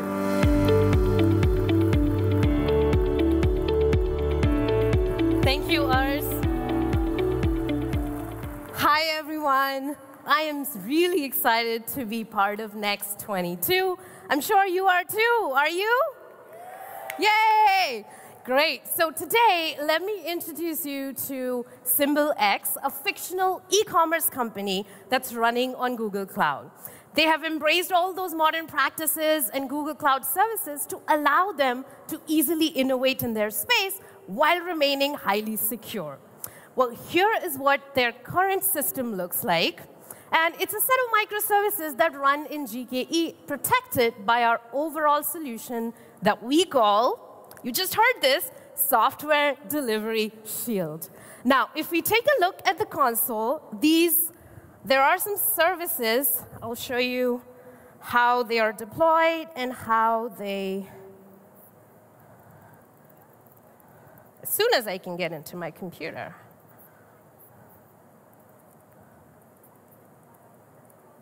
There we go. Okay, so I've created this SimbleX demo inside a project. So when you go into the workload, you can see the services that we were seeing earlier on the, on the screen. These are those services that we've deployed. And then if you click on the security posture, um, the security issues, the vulnerabilities, and the configuration concerns uh, can be scanned directly. And if I click on the vulnerability concerns, um, you can uh, filter it by the cluster that we were seeing, or if you have more clusters, the criticality. And if I click on workloads here, I should be able to see some services. Um, for example, the payment service here allows for privileged escalations. With Kubernetes pod security spec standards, if you're familiar, this is discouraged. So while these are, there are some valid use cases for having a configuration like this, let's say our team did this unintentionally, and we can now, with the security posture analysis here, we can go into the recommended actions and lock this down. Now, while the current site has been operating this way with ongoing protections and the business actually, in this case, doesn't stop evolving, right? So let's say Cymbal, um, we want to grow our business into other markets. And Florida is one of those regions where we are expanding. So we decided to create a new brand presence. So we want a newer version of our front-end service because our Florida team is also new to the company and lacks some of that Kubernetes experience. We want to onboard them quickly. So we'll set them up to use cloud workstations that you just heard about to write code while deploying to Cloud Run. Now, Cloud Workstations provides a fully managed development machine that's running in the cloud, and Cloud Run allows us to deploy a new branded front end without redeploying the entire application stack into each of the regions if we end up expanding to even further regions. So we want to develop this quickly, but also move it safely from our local workstations and through development, staging, and those production environments to be sure that we release, whatever we release is both secure as well as bug-free. Now, let's see how we actually do that with cloud workstations. Now, the global core team has already configured our workstation, which allows the entire Florida development team to get started quickly. This is what you're seeing as the, in the, inside the workstation, and if I launch it, which I've already done um, for us today, so if I launch it, you see the, the workstation that opens up. It has stopped for me, so maybe I'll launch it again here. So I'll go back, I'll launch the workstation. This may take a second or two. So as soon as that comes up, I'll actually bring my link up here for the workstation because I have it already set up in a way that um, that's defined for me. This is the beauty of uh, Workstation. You can set it up so um, it, when you just saw that it was showing me um, how to configure my workstation. I've already done it here, so now what you're seeing on the left-hand side um, here is a panel where I can check out my code. I checked it out already, and then I have a few files open where I was um, developing. Now, uh, as we get started, I can click on the cloud code here and run my um, emulator, which is where I will do my development. Now, the great news with cloud workstations is that um, it comes with network security. Um, and it's much easier to in workstations because you're running inside your own VPC, and it supports VPC service controls and private, eh, private ingress and egress, which avoids you to deal with any code exfiltration risks. So you can see here, I've opened up the services.environment file for us to see. Um, and here I'm using private IP addresses of the backend service in the staging environment.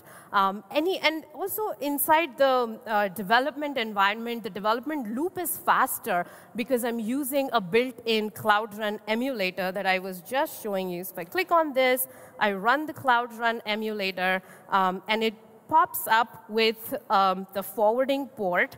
Um, and it's going to take a second here for us to say a few yeses um, to, get it, to get it to launch. And once it does launch, we'll see a local host and a forwarding port, which is where we'll be able to look at our front end in our local workstation environment. So right here, I'll click on this link, follow the link, and it should open up the development environment. Now, um, let's say I want to make some changes to this site, and I'm not going to um, be a risk taker here and just make some very tiny changes. Let's say I just change the name of, the, uh, of our site here and push these, uh, these updates to our Git repository.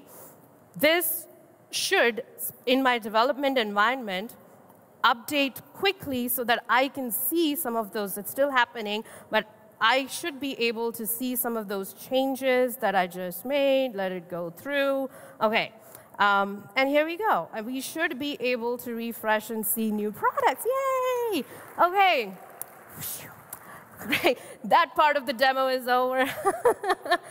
um, and then uh, from here, um, we just saw the cloud build parts of it, right? We commit those messages, and we see the changes and then in the development environment. With the focus on end-to-end -end security, we take the integrity of the builds at Cymbal super seriously, right? So that is why we're using Cloud Build to achieve the SLSA Level 3 assurances for the images that we are building. And here on the screen, you can see the image that was just built, and um, on the right-hand side, if I view the details of that image, I can see the SLSA level 3 uh, assurance, and then the cloud build also provides the signed build provenance and dependency. So you can see the dependencies and the provenance here. And the provenance really pinpoints the recipes that are used to make the image, while if I click on the dependencies, they are the ingredients. So taken together, this metadata helps establish the credibility of the image while providing a detailed listing of what's happening inside. Now, during that build process, the images were stored in artifact registry, um, which provides that automated on-push vulnerability scanning.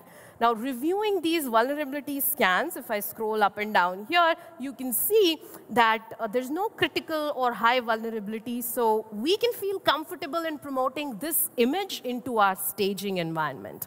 OK, so I'll get into our deployment pipeline here. So here we can see the continuous delivery pipeline um, that, OK, uh, I need to click on this to show you the pipeline. OK, so here you can see this continuous delivery uh, pipeline uh, which we're using Cloud Deploy for. Uh, with each of the pushes that we made from the GitHub repository, we automatically roll out those latest builds to our development environment. This is where, where that was being pushed when I was showing that change being made and pushed. Now, here you can also see your rollouts and your release targets. Where are you pushing them? Um, and then since the container security scans that we reviewed earlier were showing that there are no vulnerabilities, I can very comfortably uh, promote the development uh, build here into our staging environment. So let's do that right here. And then um, for at this point, we can let it, let it go through, and I'll want to show you something else. So um, when this, during the staging environment we, we don't want it to push something from staging to production, right? That would be a bad idea without doing more tests. So we'd run some integration and load tests in the release, for, the, for the release readiness.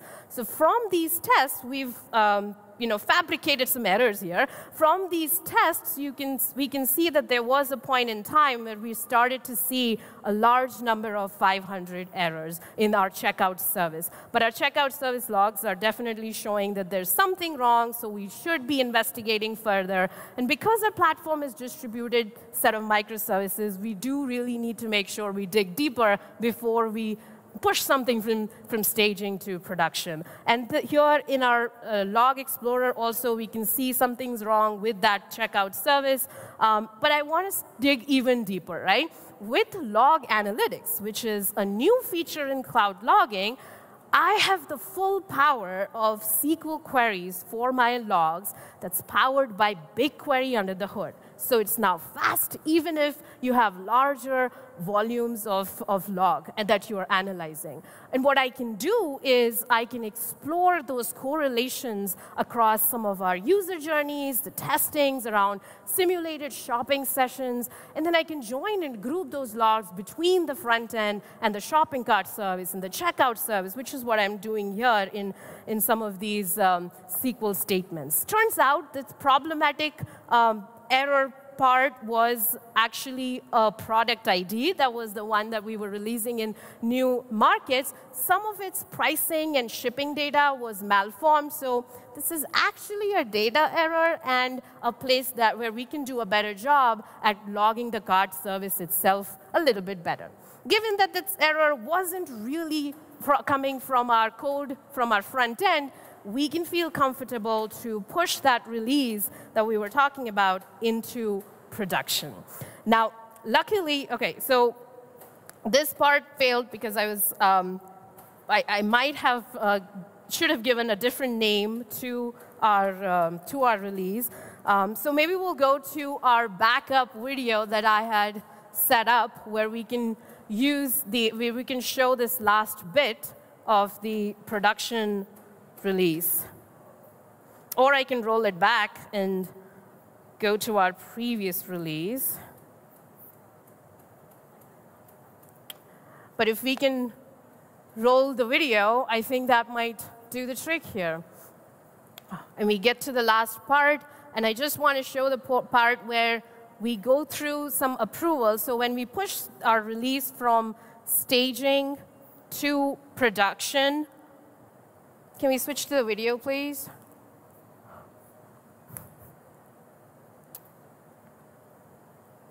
And we go from staging to production. Um, that's when you'll be able to see um, that it requires a few approvals. Um, now, I had a few, the few of those approvals, and then I can push um, that to production. Now you're seeing that on screen. Once you push it into production, you see the live updates that you were seeing in, um, in the development environment that we had made. Um, so with that in mind, uh, on an ongoing basis, we can keep tabs on our, um, you're seeing uh, it's running a little behind. So you would go through pending, and then you'll click on that review. And once you go through that. That should launch and review um, our build into production.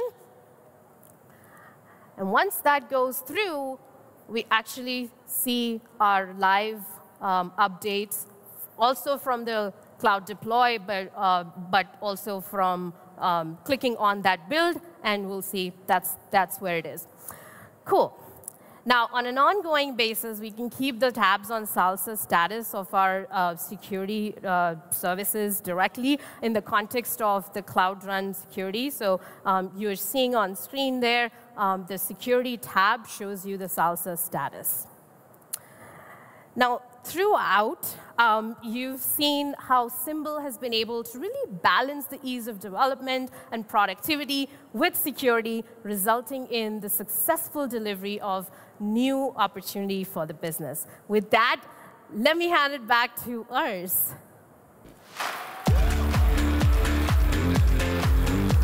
Thank you. Thank you, Priyanka. Um, so what y'all saw was how easy it is to write, deploy, and run your code you know, faster and easier, all while making it much more secure. But uh, you know, coding is one thing, but data is just as important. As applications become more interactive, full of personalization, with intelligence built in, it's critical to make sense of both structured and unstructured data. And we are building the best data and AI capabilities in the industry to help your company reduce your costs and turn you into a data hero. So we help you transform your data into valuable insights with this unified data cloud. We help you break down data silos across data lakes and warehouses by giving a, you a common governance model and data management system with BigLake and Dataplex. And we also provide one of the most extensive open data clouds and supporting ecosystems in the industry. So we help establish open standards and that the open source community can continue to evolve to maximize your flexibility uh, in the cloud because that lets you develop and run where you need to be with the best of open source, uh, uh, including Spark integration with BigQuery. Or you could also modernize your application and databases uh, by moving it to enhanced Postgres uh, on AlloyDB. And of course, we wouldn't be truly open without the strength of our data cloud partners. They offer the most integrated and, and high fidelity uh, integration with Google Cloud. So you can build this breakthrough application with a wide variety of services and solutions. Now, what sets Google Cloud apart is that we bring the power of Google AI to your business data to help make your applications more intelligent. Uh, we help you ask questions of your data with integrations across Looker, Data Studio, BigQuery, uh, Google Workspace, all together with built-in AI. New services like uh, Vertex AI Vision give you an end-to-end -end application development environment that lets you process video streams at scale while respecting the privacy of individuals. Or our new translation hub lowers uh, the cost of translation for your business. It translates content in 135 languages, including many spoken in India, helping uh, it to make it much easier for your human reviewers to validate translation recommendations. Uh, so all of these services can make it easier for you to build more powerful data-driven apps and become that data hero in your company. And to show you how this all works, let's head back over to Priyanka and see how SimbleX is using these new data cloud capabilities. Uh, Priyanka.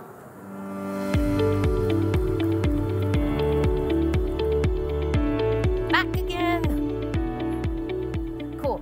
So we'll still stick with Symbol X here. Let's say Symbol X ingests a number of different photos, image stocks, and visual components that are sources of uh, sources that you know people share on their application physically and in their stores.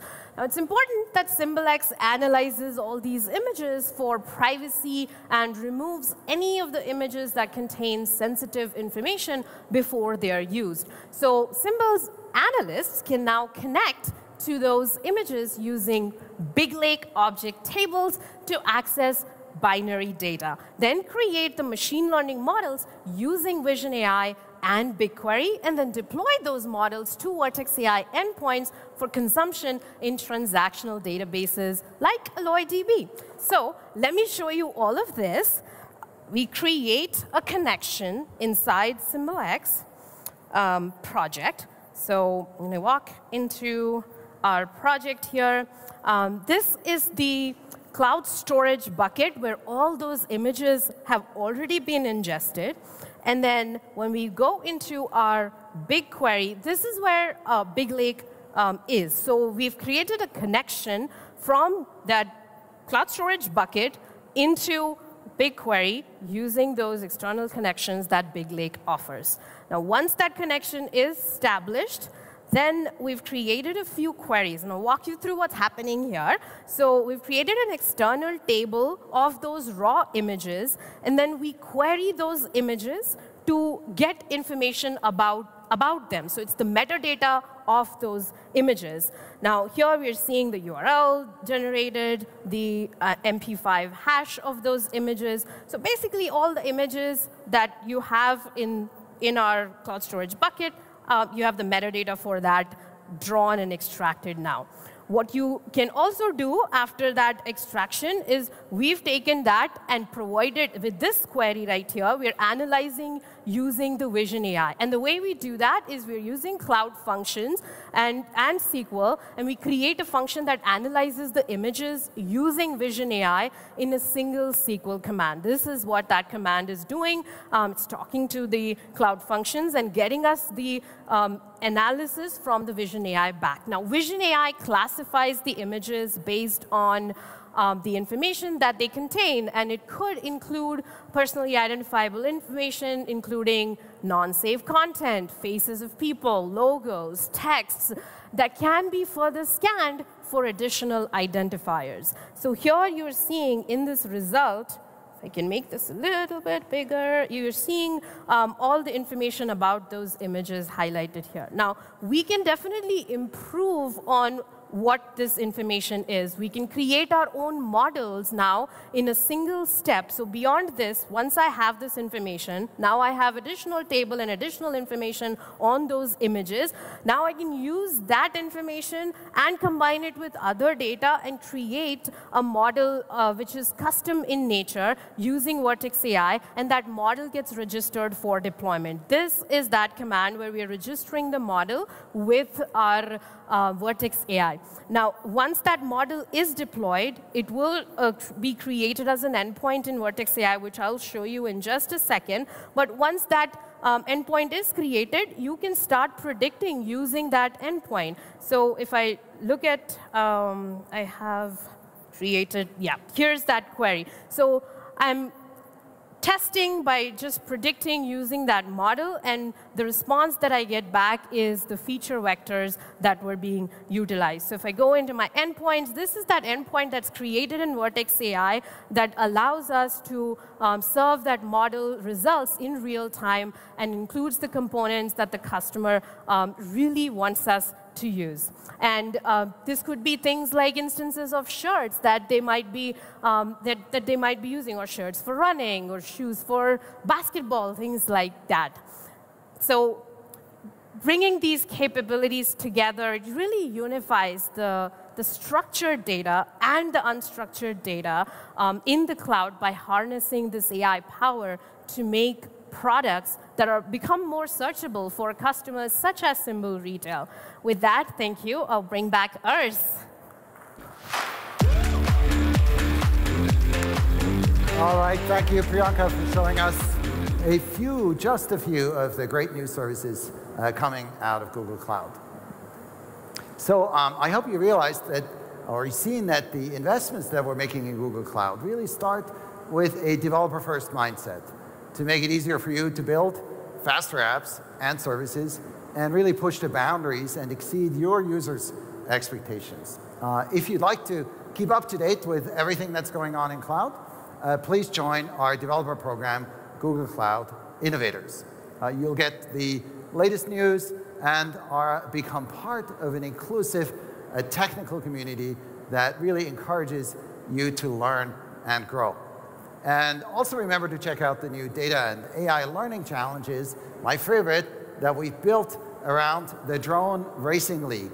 So you get to put these services into action through a fun, immersive learning experience where you'll get hands-on with race data, predict race outcomes, and provide tips to pilots to enhance their season performance. And you even get to compete for a chance to win a trip to the season final, finale of the league's World Championship. So is going to be fun. Now, Uh, join us for our Hive at Next event, featuring some of our champion innovators, uh, Google Cloud engineers, and advocates, and also our amazing partners, of course. And speaking of amazing, please welcome back to the stage Priyanka and enjoy the rest of the show. Thank you.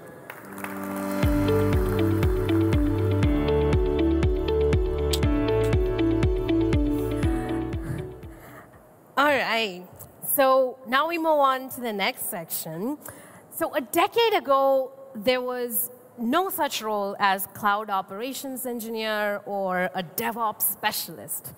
But when you fast forward to today, we have exciting job functions like cloud cost optimization engineer or a hybrid network engineer or a multi-cloud specialist, and even more such terms. So as cloud computing continues to evolve, so are these job functions. Now, to build an exciting and sustaining career in cloud, it's really essential to understand where the cloud is headed and what roles will emerge in the future. So, in the next few minutes, let's discuss what's next for the cloud and the roles that will evolve along with it.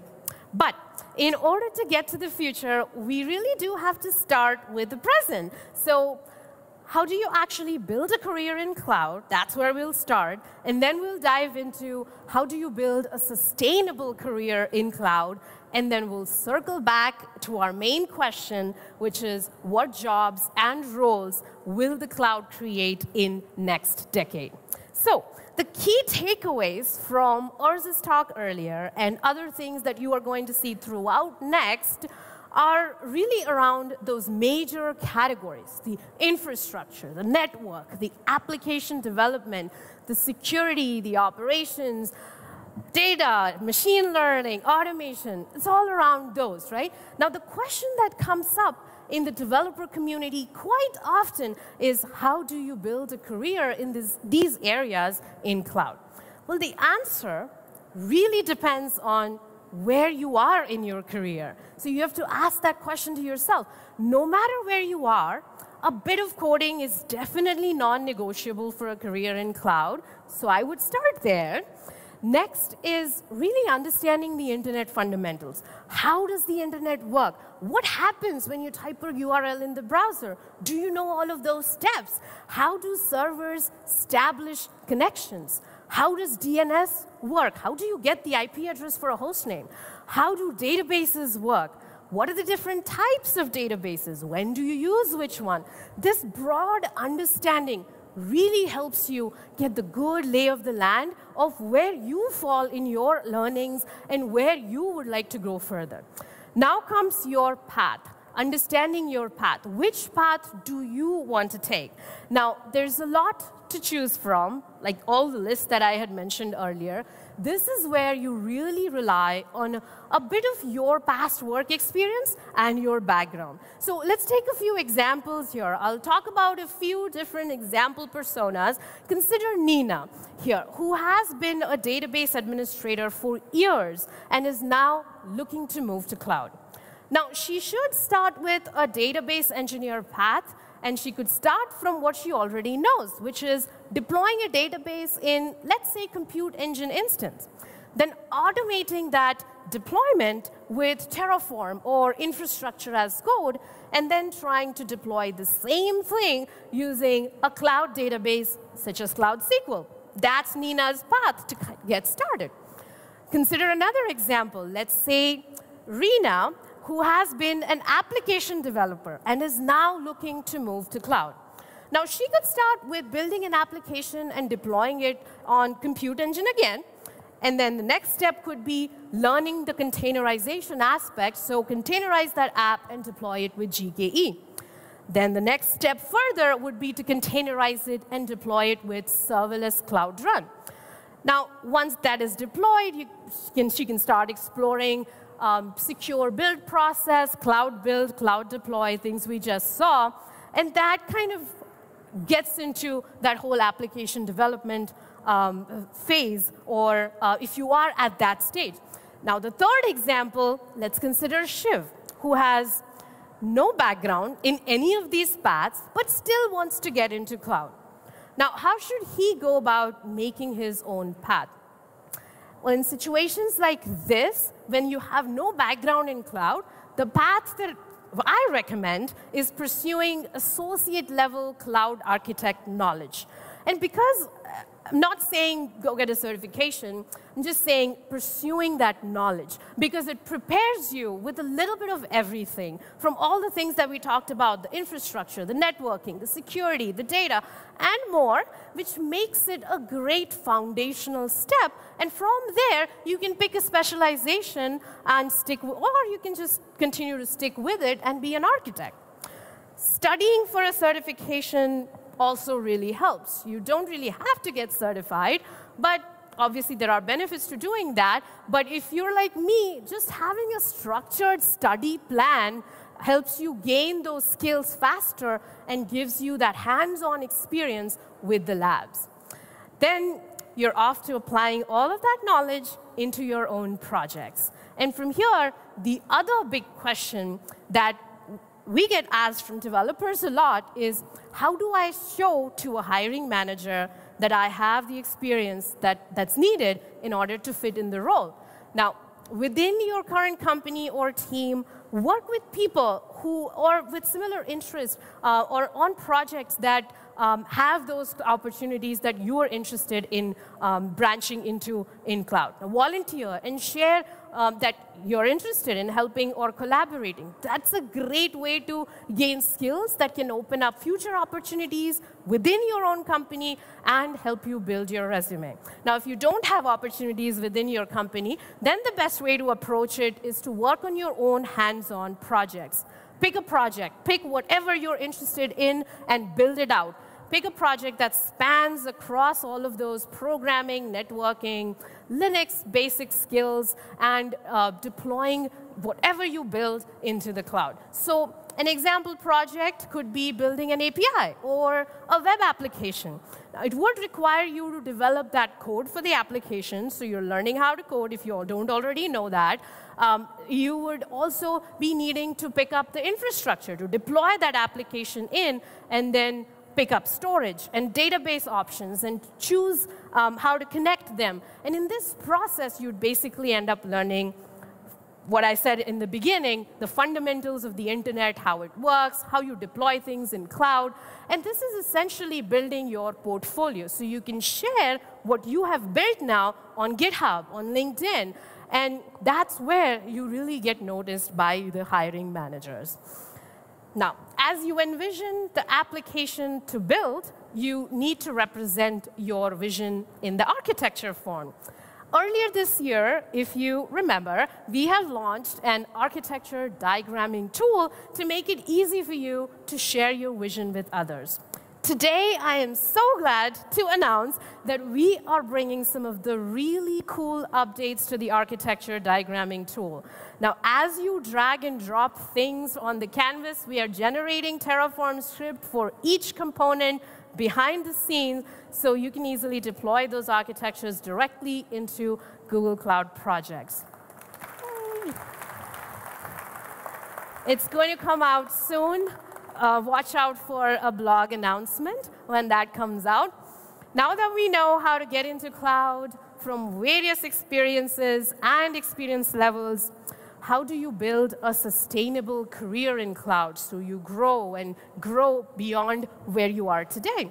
Now, this brings us to another question. What jobs and roles will cloud create in the next decade so you can grow into them? To answer this question and more, let me invite Janakiram MSV, also known as Johnny in the cloud community. He's a principal analyst at Janakiram and Associates.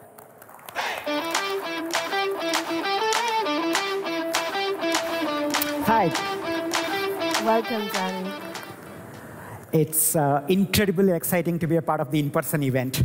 It's amazing to have you, and we're very, very excited to have you. So Johnny, for those who don't know, have, has worked for two hyperscalers and advises companies on using cloud efficiently. I'm sure you are on the edge of your seats to hear all his advice and how to build a sustainable career in cloud. to start off, what will define the next generation of cloud computing, Johnny? Absolutely. But uh, before we get to what's next, let's take a snapshot of where the cloud is today. So today's cloud has building blocks in the form of compute, storage, and network. And on top of that, we have layers like databases, application platform services, and so on. Yeah. Today, most of the job functions are focused on exploiting these capabilities, modernizing applications, migrating workloads, and managing them to get the best out of the cloud. But once this stabilizes and once cloud becomes the norm, we are going to see the evolution of the next generation of cloud.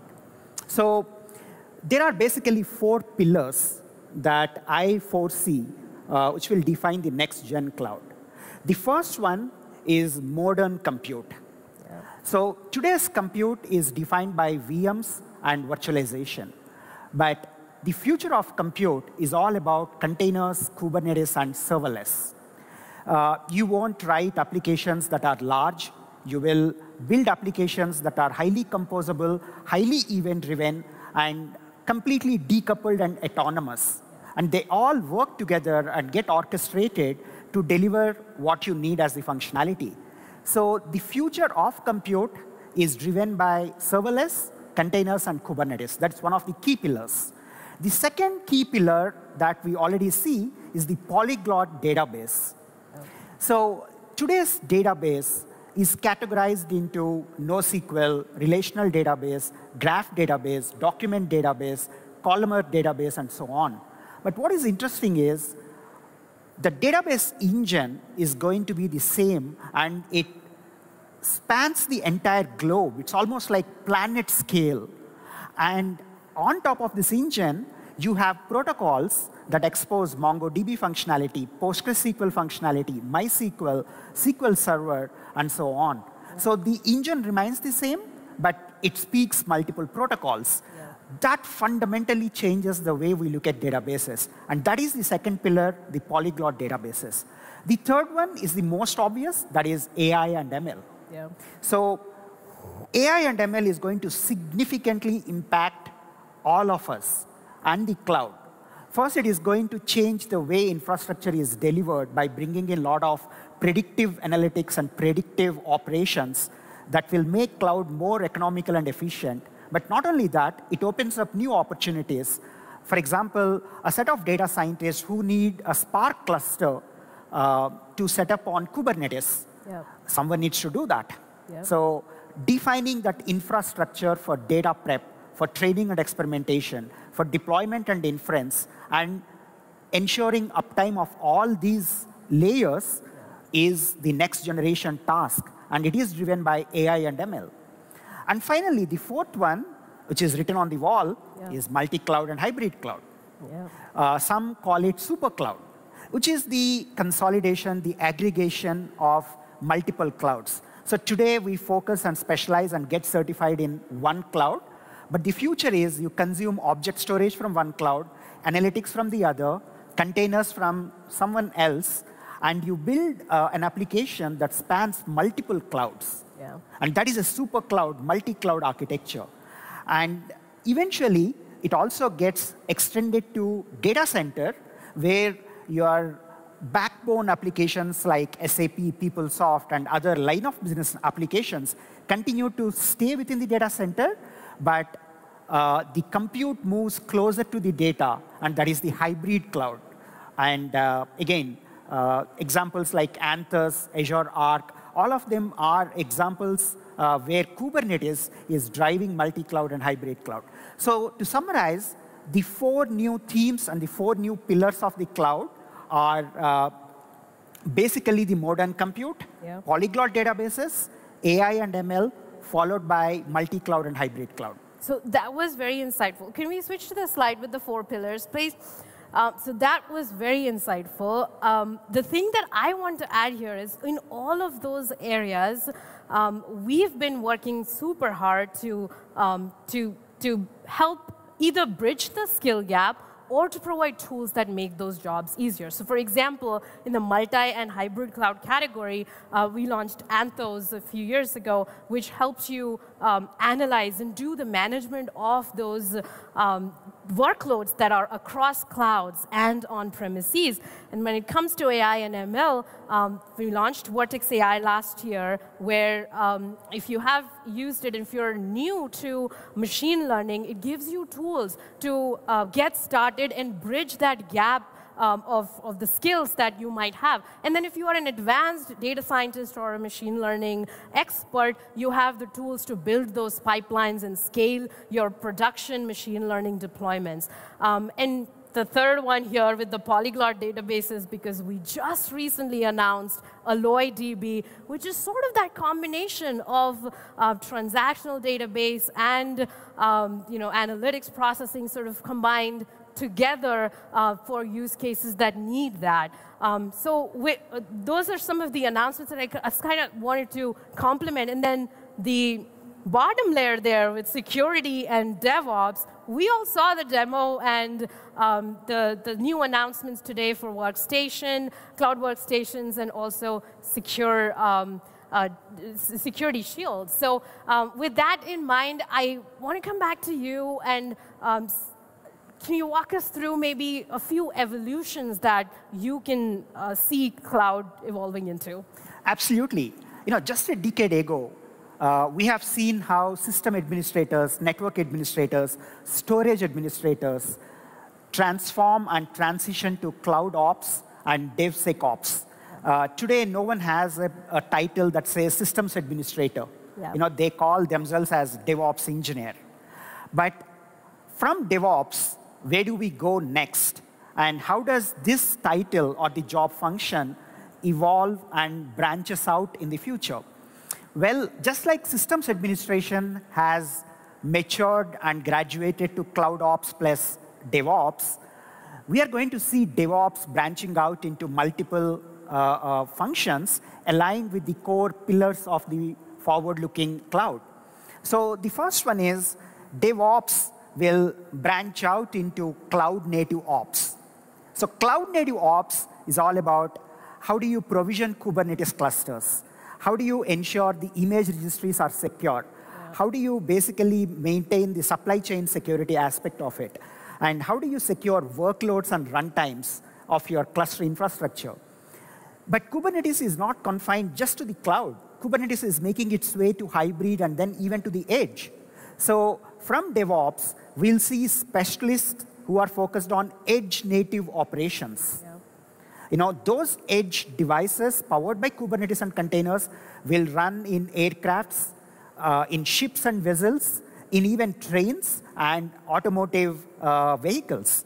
So edge is going to be everywhere. Yeah, you know, I just did a video on this. If uh, anyone happened to catch it, it was on Abe's Burger, which is the food um, fast service, quick service restaurant. And we took that as an example where it's like if you have got multiple locations, imagine hospitals or retailers who've got multiple locations, they have to do some processing at the edge, at those locations. And there has to be compute there. There have to be deployments there where you're using Anthos. There'll also be machine learning at the edge, so you're doing operations for that. So those would be the roles that would Absolutely. That burger shop video was fascinating. Thank you. It's very real world. Uh, it, it, it actually conveys what the challenges are for a real world customer. So DevOps to cloud native ops, edge native ops, and then when it comes to ML and AI, we are going to see data ops, yeah. model ops, and the overarching ML ops as a theme. And uh, that is the next lucrative opportunity for a lot of DevOps engineers because the future is all about ML and AI. And the data scientists and ML researchers need someone to take care of the infrastructure and maintain it for them. So uh, branching out from DevOps into ML ops, and uh, within that, focusing on data ops, model ops, and uh, the entire ML ops uh, spectrum is very exciting. Uh, and uh, coming to the last pillar of multi-cloud and hybrid cloud, today we see cloud solution architects uh, they are very good at defining VPCs, firewall groups, network security, and optimizing for cost, performance, reliability, and scale. But the future is all about how do you expand that across multiple clouds. So we're going to see multi-cloud architects uh, where you pick best of the breed services, not from just one cloud provider, but a plethora of clouds and cloud providers, and you assemble best of the breed solution that is economical, scalable, reliable, and secure. Yeah. Very fascinating. And same thing with a hybrid cloud specialist who can bridge the gap between the data center and the public cloud. Yeah. So if you are transitioning to DevOps, or if you have already stabilized your career in DevOps, the next decade is going to be very exciting for you as you transition and take up one of these routes uh, to build a highly sustainable, highly secure career. Yeah, and then the rise of event-driven applications, the microservices, we saw that in the demo as well, and serverless, all of that is also um, feeds into the whole Kubernetes and containerization um, landscape that, that you should continue to evolve your skills into that, that area as well. So um, I want to switch it back to you for containers and Kubernetes, just a uh, few seconds maybe. What I consider those to be critical skills as, we, as anybody evolves in cloud. Um, what do you think? Absolutely. Uh, you know, just like there are dedicated Linux administrators yeah. who master hardening the operating system, user management, integration, and so on, think of Kubernetes as the new Linux. Yeah. Uh, managing a production cluster is much more complex than managing a set of Linux machines. So investing in Kubernetes is really critical because that is the new operating system for the cloud, for the edge, and for the data center. So if you are a Linux administrator or a Linux DevOps engineer, it's time for you to consider Kubernetes and invest in that. That is the future, and that's where the entire industry is headed. Amazing. Okay, well, you got the memo. well, if there was one thing that you would like our audience to take away today, what would you leave them with? I spelt it multiple times, and I'll do it one more time. To ensure your career, make sure you are learning, investing, and mastering Kubernetes. So the, the single takeaway and call to action for you is Kubernetes, Kubernetes, and Kubernetes. That's what is going to rule the infrastructure world.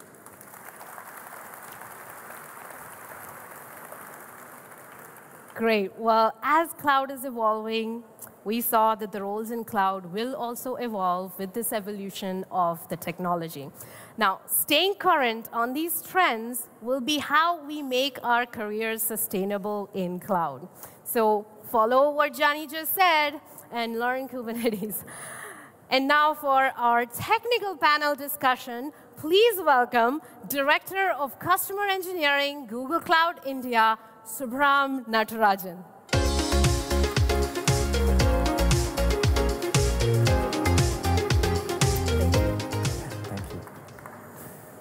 Good morning. Warm welcome to Hive at Next 2022. Indeed, a great pleasure to see you all here. If there is one universal phenomenon that stands out in this pandemic, it is the emergence of creative capabilities of individuals and organizations. The need for innovation is not new, but it has become the key differentiator between the just surviving and successful. When you want to think of innovating at scale, India is a fertile ground. Just think about this. In a country of billion plus, with 1,500 language variants, 10% of them speak English. So how do you democratize the access of information to this vast population? While cloud technology has immensely helped in building, nurturing, and creating new platforms and frameworks and communities, we should keep in mind that all of this happen with interesting times that is in front of us. The first of the challenge is the dynamic environment that we all live in. It is about the changing regulatory requirements that face our organizations. The governing bodies specify requirements that we all have to comply with. For several organizations, it is very common to see the self-governance measures becoming the nuances of the requirements that they specify. However, these requirements have given rise to so many new innovation, such as the case of KYC digitization. Or even in the case of creating frameworks, you might have uh, seen how the penetration of UPI has revolutionized the entire digital commerce. Newer technologies often create new opportunities, create new business models, contributing to both top line as well as bottom line for organizations. More importantly, these serve as launch pads for differentiating themselves on the value proposition platform. They build loyalty, they build brand, and immensely grow along with it. Think about emerging technologies like AR, VR. It has the potential to offer superior customer experience or in the case of Web3, the emergence of use cases changes the way content gets created, information gets created, the ownership, syndication, and so on. Blockchain in itself has potential to change or revolutionize the way transactions are being conducted today. Successful innovation found their way into large-scale adoption at the back of skills and skills availability has become extremely critical now. In order to take advantage of the enormous market opportunities that these new technologies present, we need to complement them with the right kind of skills. So skill building is an important aspect of every innovation program. On that note, let's watch this video clip where all of what I just talked about gets highlighted. Let's roll this video.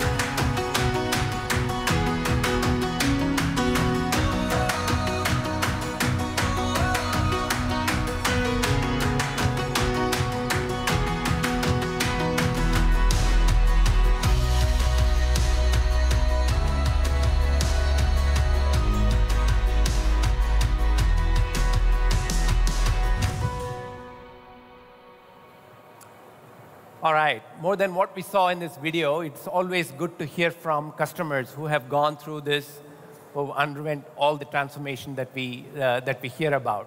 Today, we have two of our valued customers with us joining the technical panel. Please join me in welcoming Gaurav Bhatia from ShareChat.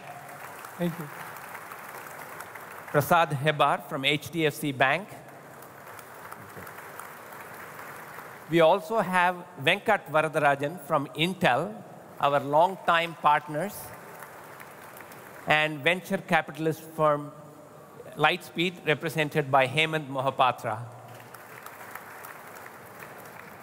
I'm sure we are all going to learn a lot from the wisdom from these gentlemen here. Let's get right into this. I'm going to ask you a question, and I'm going to take, you know, request you to take turns to answer this question what would be the one word you would use to describe the state of the innovation in the country and why? I'm going to begin, you, begin with you, Gaurav. Sure. So um, one word, if I, you know, I would say rising. Uh, and if I may take two words, I would say rising and shining. Um, and I say this because, uh, you know, innovation requires a lot of different things to be in place for it to be successful. Um, I've heard of it being referred to as the three T's so there is, of course, you know, the uh, target market, there is the talent, and there is the technology platform.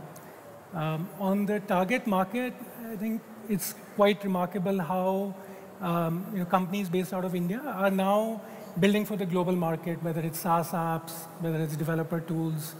And what that has done is uh, forced a lot of diverse set of use cases, a lot of new product requirements, and a lot of new scenarios to come and new challenges to solve for. So that has really pushed the pace of innovation and um, the, the requirements around how things are being done. Uh, the second is the talent aspect. Um, you know, India has always had a very strong talent pool.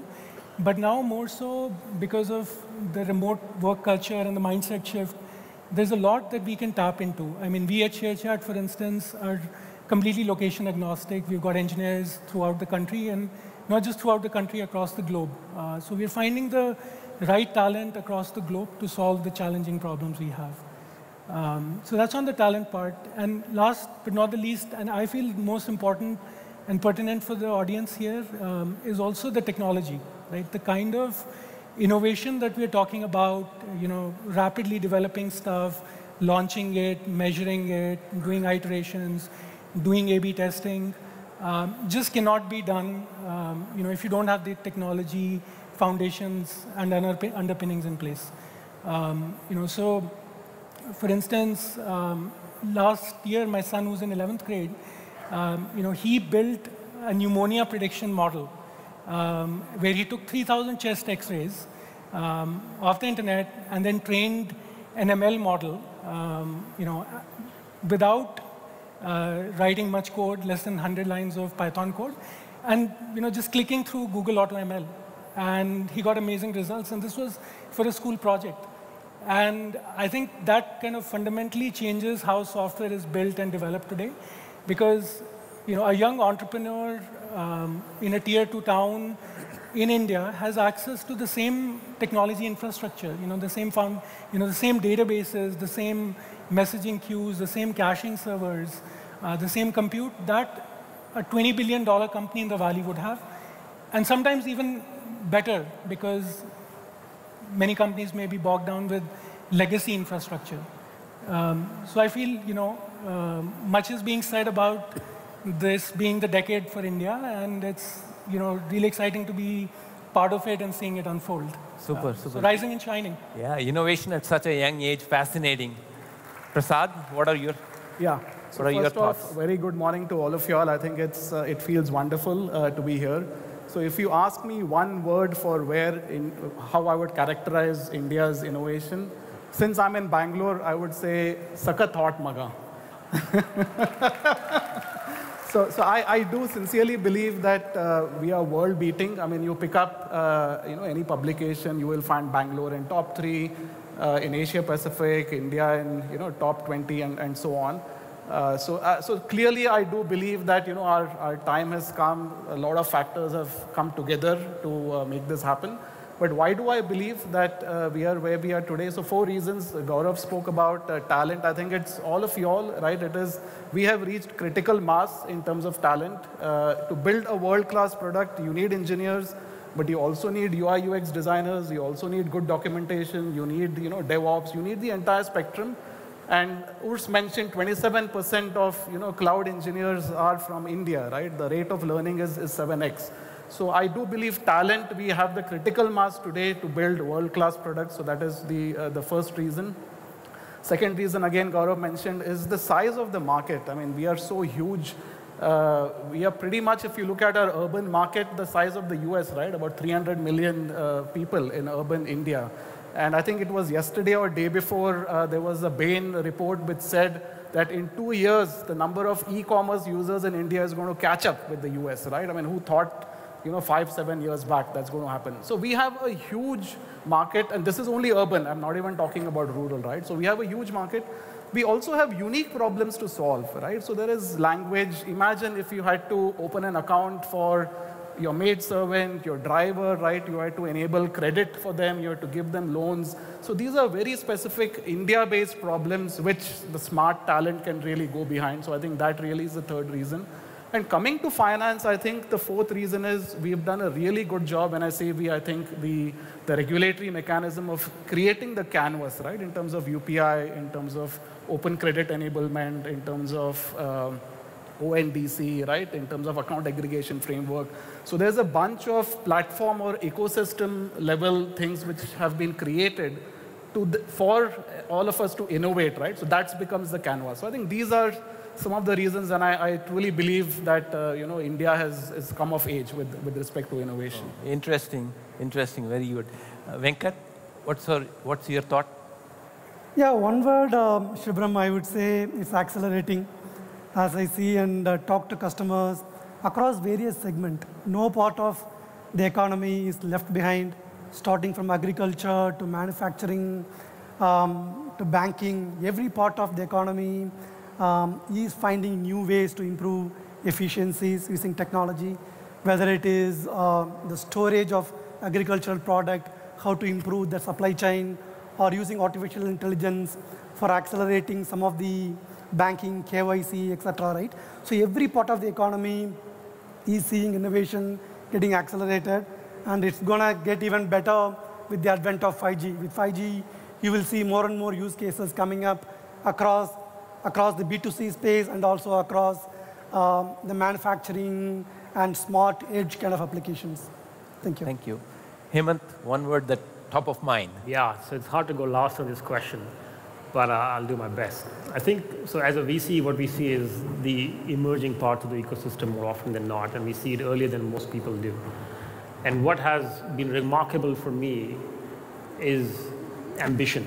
That word is important for VCs because we do care about highly ambitious people that are capable of building large global companies from India. And that's what we care about the most, and that's what we are seeing a lot of. And it's not just ambition, I think what we are seeing is also the deepening of the ambition and the widening of it. I'll unpack that um, now. So by deepening, what I mean is if you go back maybe 20 years, India was the back office of the world. Like we had, I think our best innovation back then was a business, what was a service model innovation. Like we were trying to service companies elsewhere with more efficiencies built out of India. And fast forward maybe 10 years, we became more of a, I would say, a business model innovation country. You were taking a large incumbent like, let's say, you know, Salesforce or SAP, and we're building their products for a market that was underserved, either in the US or elsewhere. We were more of a business model innovation country for about, you know, five, 10 years. Now we are finally becoming what we care about the most. We are becoming a tech and product innovation country, right? The, company, the companies that are coming out now over the last five years, companies like Postman, Hasura, companies like, you know, like Pixxel Space in the satellite business, Next Billion in the mapping business, and so many other examples, they are essentially building world-class products from this part of the world. That's the deepening of the ambition that we are seeing a lot more. It's not just about taking a bigger company and trying to tackle it with cheaper costs and lower fees. It's about building the best-in-class product on day zero and going to the global market on day zero. That's what we really care about. That's what we're seeing now. That's the deepening of the ambition. This is exciting for us. Second is the widening, right? I don't know how many people know, but one of the world's fastest growing open source companies right now sits out of Kochi, a company called Hoppscotch. Um, we invested in one of the world's fastest security protocol coming out of Jaipur, a company called Project Discovery. Um, Supabase is building out of Singapore, one of the world's most popular Firebase alternative, open source. Right? These are things that you would not have seen coming out of like anywhere, maybe let's say beyond Bangalore. But we, are, we have invested in the fastest SaaS company called Hubilo out of Ahmedabad, Jaipur, Kochi, Singapore, and Bangalore, and Delhi, and Bombay. So that widening was not there five, ten years back, and that's really exciting for us. The talent is now everywhere, and it's building world-class companies from here. Clearly indications of some exciting times ahead. Thanks. Gaurav, I'm coming back to you. Um, you know, ShareChat, of course, the scale that you guys have achieved is mind-boggling. I'm curious to know what aspects of developer ecosystem made it possible for you to kind of build and scale. Right. Yeah, I mean, um, you know, we are very grateful for the love that, you know, the Indian audience has shown and, uh, you know, in terms of using our app and adopting our app. Um, you know, in terms of our journey, we uh, just over two and a half years ago were like around 60 million users, and then you know we had this rapid um, growth both on the main ShareChat app and also the events that followed in terms of uh, us launching app, uh, the the Moj app, and um, so what uh, has really helped us is the fact that um, the infrastructure that we built, uh, you know, a microservices architecture, which has over 250 odd microservices, um, which we built on the Google um, Kubernetes uh, environment on GKE, but really on Kubernetes. You know, we've always taken kind of an open source, open standards approach to things. So that architecture, you know, really helped us scale. Um, the architecture we had two years ago is fundamentally the architecture we have today.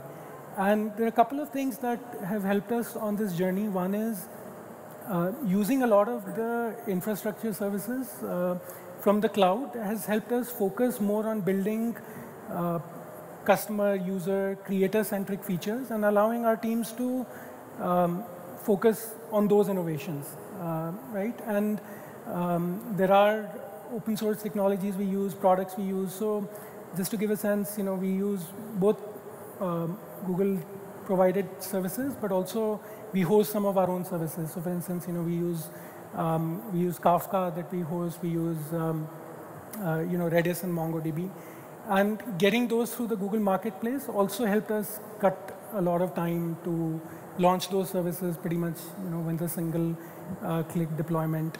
Um, the other thing that helped us quite a bit is uh, in terms of being able to maintain the razor sharp focus on um, you know the high value uh, items and solving for uh, real impact um, is that the infrastructure gave us a lot of single click services. So for instance, data migration between services or databases, um, you know, that was one thing where we didn't have to spend lots of time writing scripts from scratch, uh, spinning up new databases.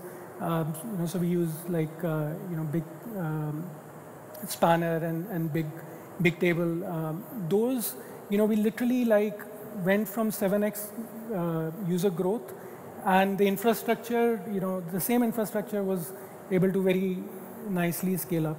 Um, and, and of course, you know, the overall developer ecosystem around, um, you know, using technologies such as Golang that we are investing heavily in.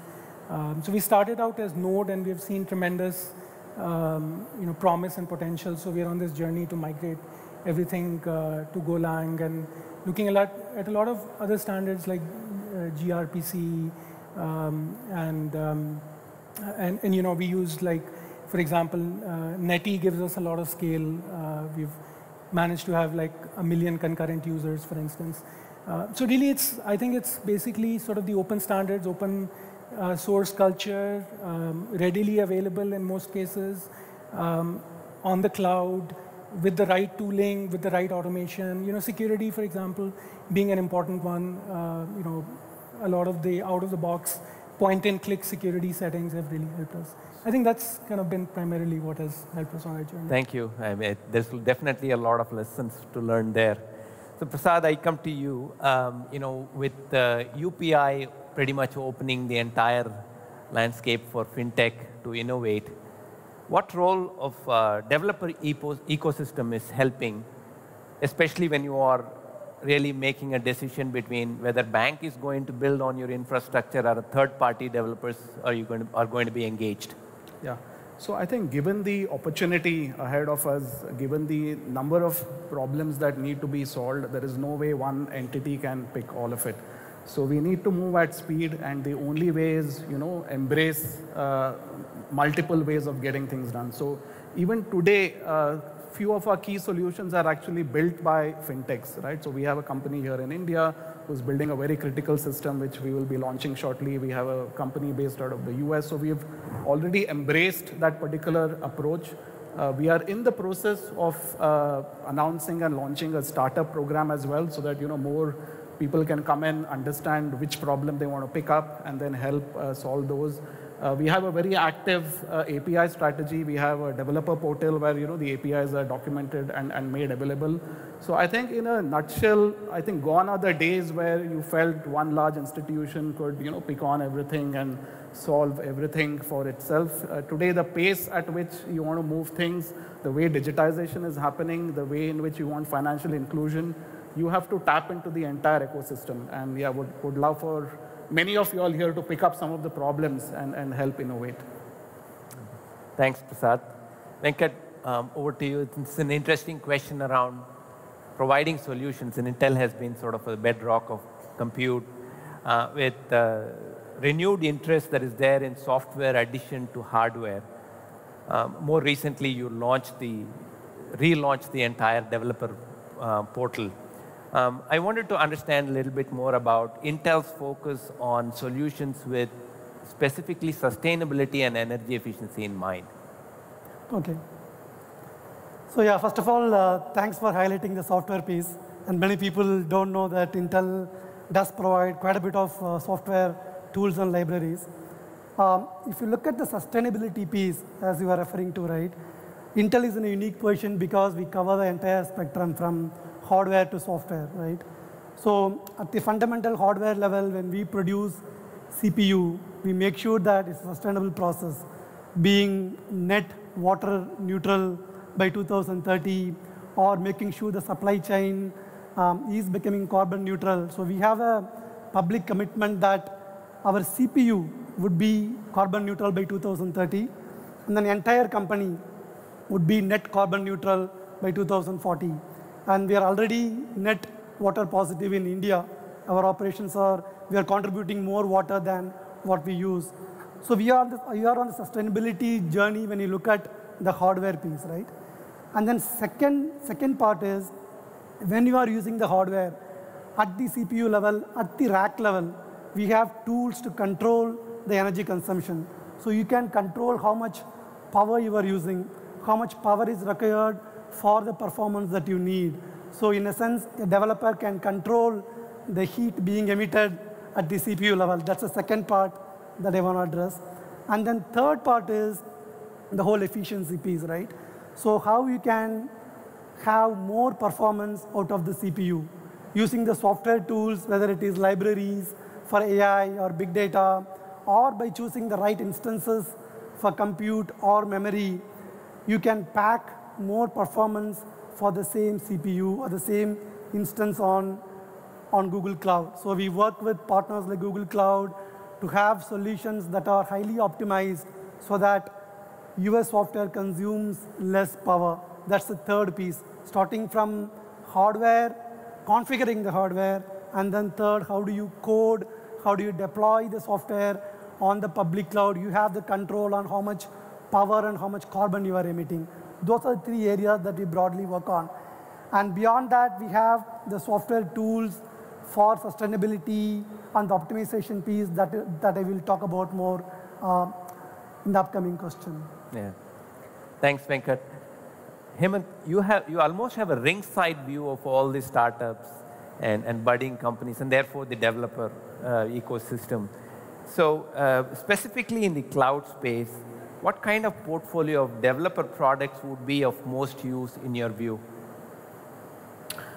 Yeah, so I mean, look, developer productivity has been a constant you know, flywheel of companies coming in and coming out, right? So productivity is a, is a moving target, so we tend to keep looking for where the next gap in productivity is coming from.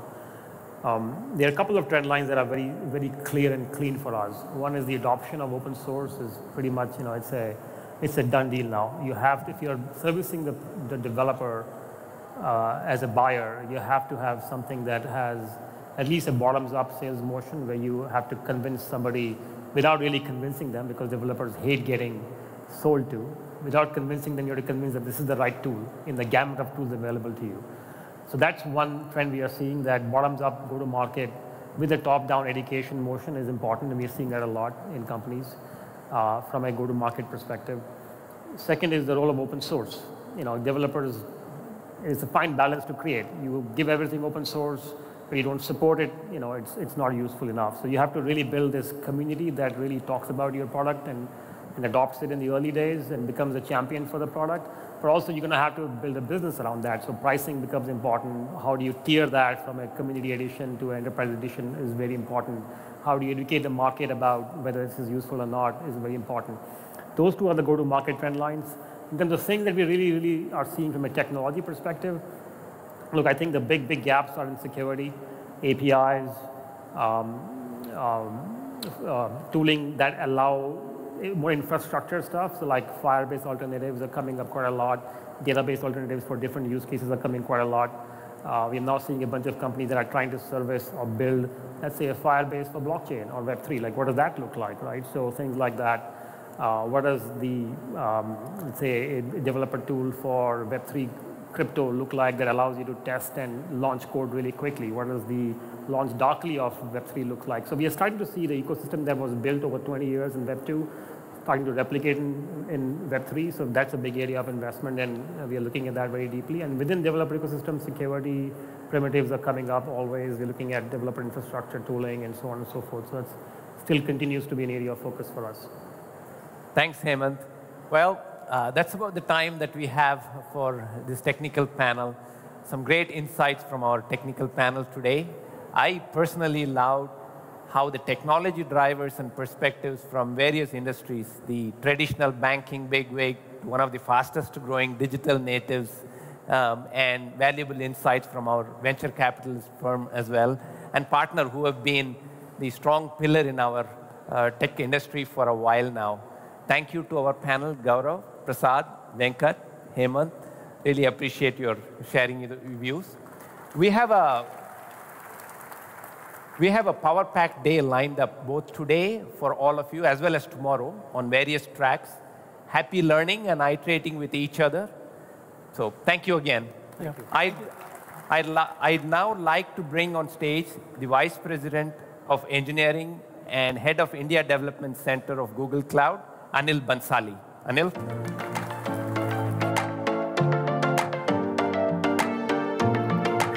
Hello, everyone.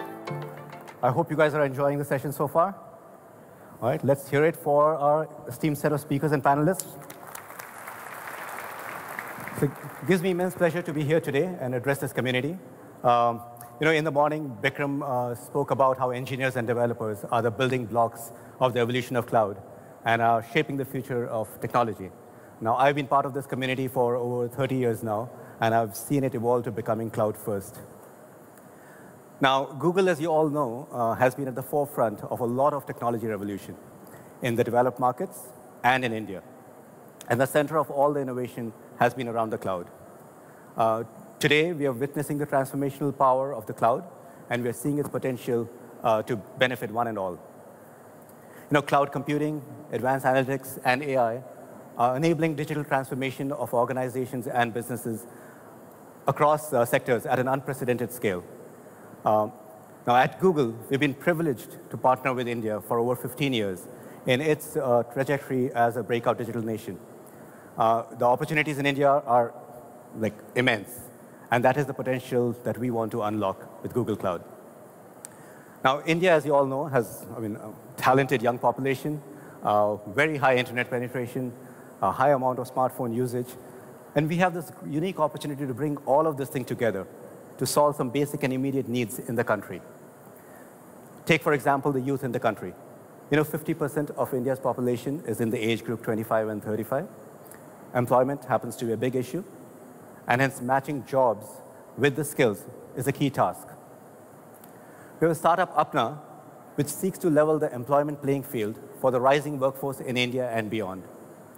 It built one of India's leading professional marketplaces on the cloud with over 22 million users in just three years across 70 plus cities. Now, Apna has been able to accomplish this with a unique AI job seeking algorithm, which was made possible with cloud native capabilities in Google Cloud, including Google Kubernetes Engine, BigQuery, and Vertex AI. Now, as India has transformed through digital, we too at Google have transitioned from being India focused to being India first. Google Pay happens to be a great example of how we started an effort based on the needs for a digital solution in India for payments and then expanded it across the globe.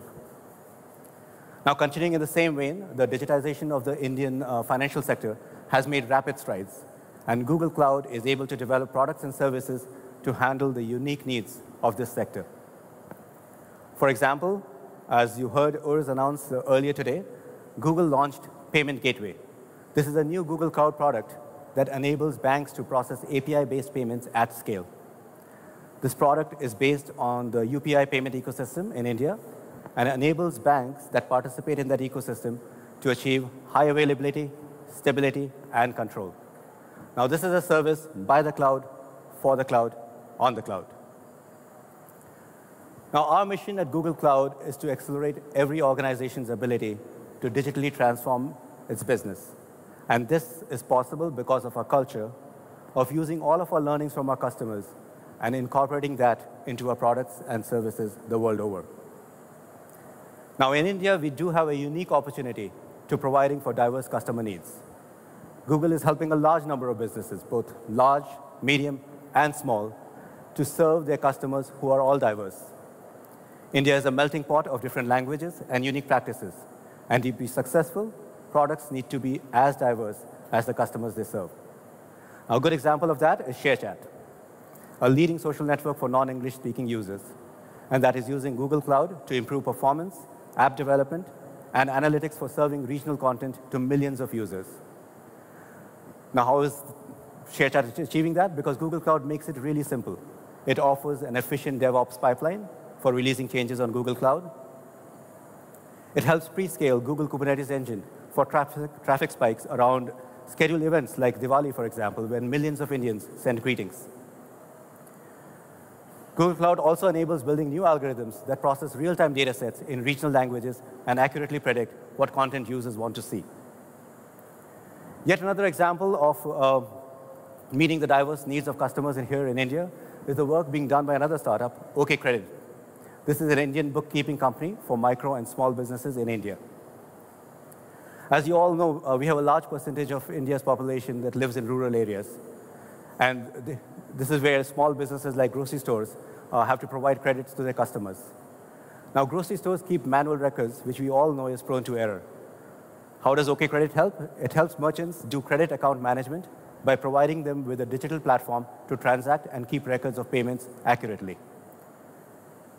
So, OK Credit nearly serves almost a million customers monthly, and that has been possible with Google Kubernetes Engine, PubSub, and Cloud SQL. You know, our investments in the India Development Center is a testimony to our continued commitment to meet our customers' expectations. We are leveraging the talent in India by growing our development center to address the transformational needs of our customers. Uh, we are building expertise across all the domains of Google Cloud, and that's translating into developing rich capabilities for our global products and services. Uh, the India Development Center is testimony to, to the tremendous talent that exists in India. With a large number of you know, engineering graduates, together with the second largest developer community, uh, the presence of GSIs and ISVs, the potential for innovation in India is unlimited. You know, the other community, the startup community here has been at the forefront of innovation. And at Google, we've always supported startups. Our accelerator program has helped 116 Indian startups build and scale great products and companies.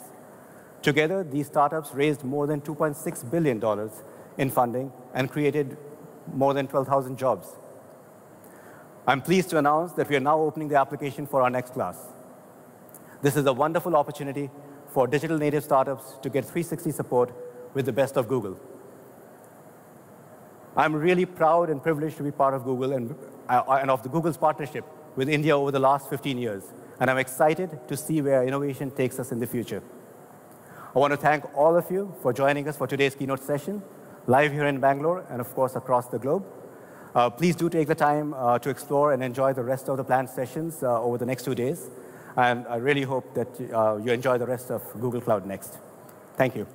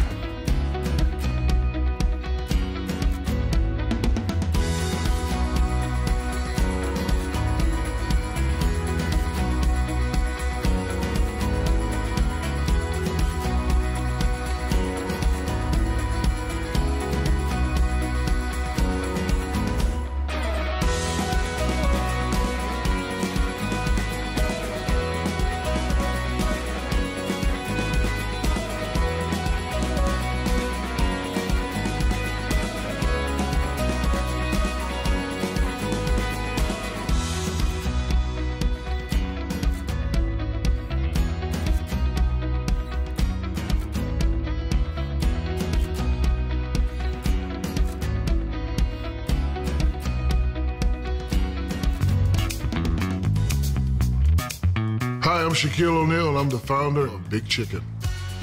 So you got to do that at the end when you say Big Chicken.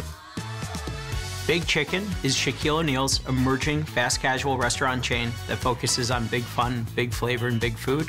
When you're trying to build a national chain, communication is so critical. To do that, you need a great partner. We're really lucky that partner is Google Workspace. You know, Josh, every time he does a presentation, he just loves Google Slides. As the person responsible for our marketing, probably the best at Google Slides. His presentations is like I'm at a movie sometime. I'm just sitting there going. I've got some great new chicken sandwiches for you to try. Brand new recipes. Isn't there something important we're supposed to be talking about? Good recipe development comes with collaboration. Using Docs in Google Workspace gives us the tools we need to collaborate together. Shaquille's life gets crazy busy, as does our entire board. You want to talk to me, make sure you put on my Google Calendar. Google Calendar is my girlfriend. I don't know anything I'm doing unless I talk to my woman Google Workspace, productivity and collaboration tools for all the ways you work.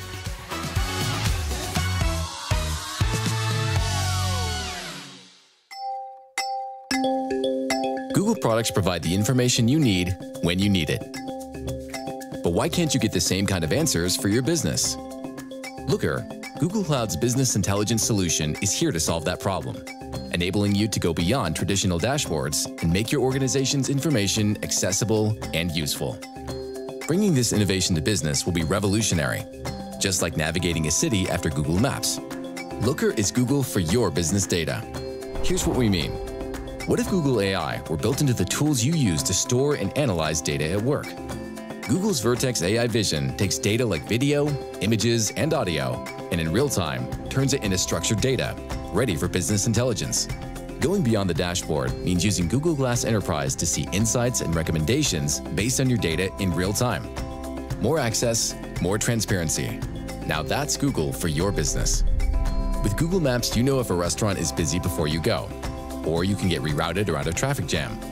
Looker will help you connect similar dots in a predictive way. A concert in five days will increase foot traffic by 65%. Would you like to adjust staffing and inventory? Yes. Looker and AI lets you respond to changes in demand and turn insights into action. Foot traffic continues to be busy. Encourage customers to visit an alternate shop with a reward card? Yes. Smarter insights mean better experiences and happy customers. So go beyond the dashboard and transform the way you do business with Looker, powered by Google Cloud. We started with the exponential roadmaps goal, zero carbon emissions by 2050. Where our emissions primarily stem from, device, CDN, networking, and cloud. Our goal is actually to get to zero emissions by 2030. Backstage was built internally at Spotify, so it unifies your tooling, your services, docs, and apps under a unified, consistent UI. We donated it to the Cloud Native Computing Foundation. Amazing to see how many people at Spotify actually care deeply about this topic. Cloud Carbon Footprint is actually an open source tool developed by ThoughtWorks. The only thing that's limiting us right now is just people hearing about it. It leverages cloud APIs to provide visualizations of estimated carbon emissions. We leverage Bigtable, GKE. It starts not just from the cloud, but it goes all the way out to our end user devices. We want to empower not just Spotify internally, but the broader developer community to reduce their carbon footprint.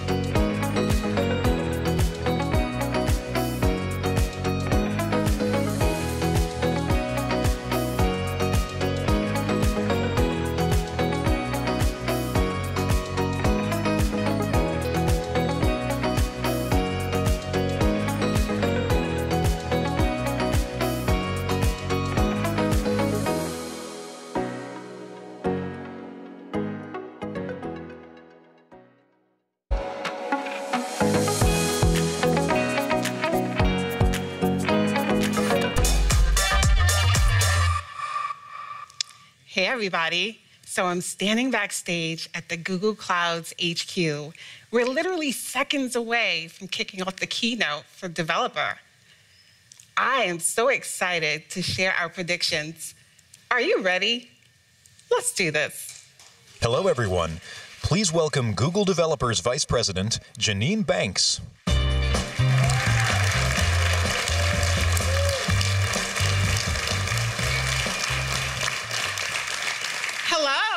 Welcome to Next 22. I'm Janine Banks, and I lead developer products and community at Google. My team and I love empowering developers to build innovations for the future, which leads me to the theme of Next this year. Today, meet tomorrow. To tell you a little more about how we think about tomorrow, my friends and I at Google Cloud will share top technology predictions for where we believe the cloud is headed over the next three years. Each one of us will share the one prediction we believe will be true by the end of 2025. And we'd love to hear what predictions you all come up with too. You can do that by responding to our original video or creating your own video on YouTube shoot, Shorts or any other social video platform. Just use the hashtag Google Cloud Predictions and tell us all about it. But before we get into all of that, I want to talk about our developer community for a minute. I get most excited about the incredible ideas and new products coming from our community, as well as the opportunity we have to help developers learn, grow, and build powerful systems and engaging experiences. Google's developer community is inclusive, one where cloud developers at every level of expertise are welcome while being challenged at the same time. And being part of Google's developer community creates true economic impact because Google Cloud certified professionals are some of the highest paid in the industry. This same cloud developer community fosters the creators, and by that, I'm talking about the students, the career switchers, and anyone else hoping to become a developer who's encouraged and supported to bring their creations to life. Just like we saw with our partner in Brazil, Soul Code Academy, and one of our newest professional data engineers, Patricia. Take a look. Tecnologia é como se fosse um bichinho que uma vez que ela te morde, não sai mais de você. Eu cursei análise e desenvolvimento de sistemas, só que eu não consegui terminar. Tinha lá aqueles formulários, né? Qual que é o seu nome, seu endereço? Mas qual que é a sua profissão? Eu não tenho profissão. Agora é a hora de eu retomar. Aí foi onde eu vi a oportunidade do Bootcamp da Soul Code Academy em parceria com o Google Cloud. E seis meses depois, aí foi onde eu recebi o convite para poder fazer parte do time da Soul Code Academy, só que do lado de lá. Ali o mundo, sabe quando o mundo ganha cor? Então nessa hora ficou colorido. Eu, Patrícia, mulher casada, mãe de três filhos, 39 anos, profissão engenheira de dados habilitada em Google Cloud Platform.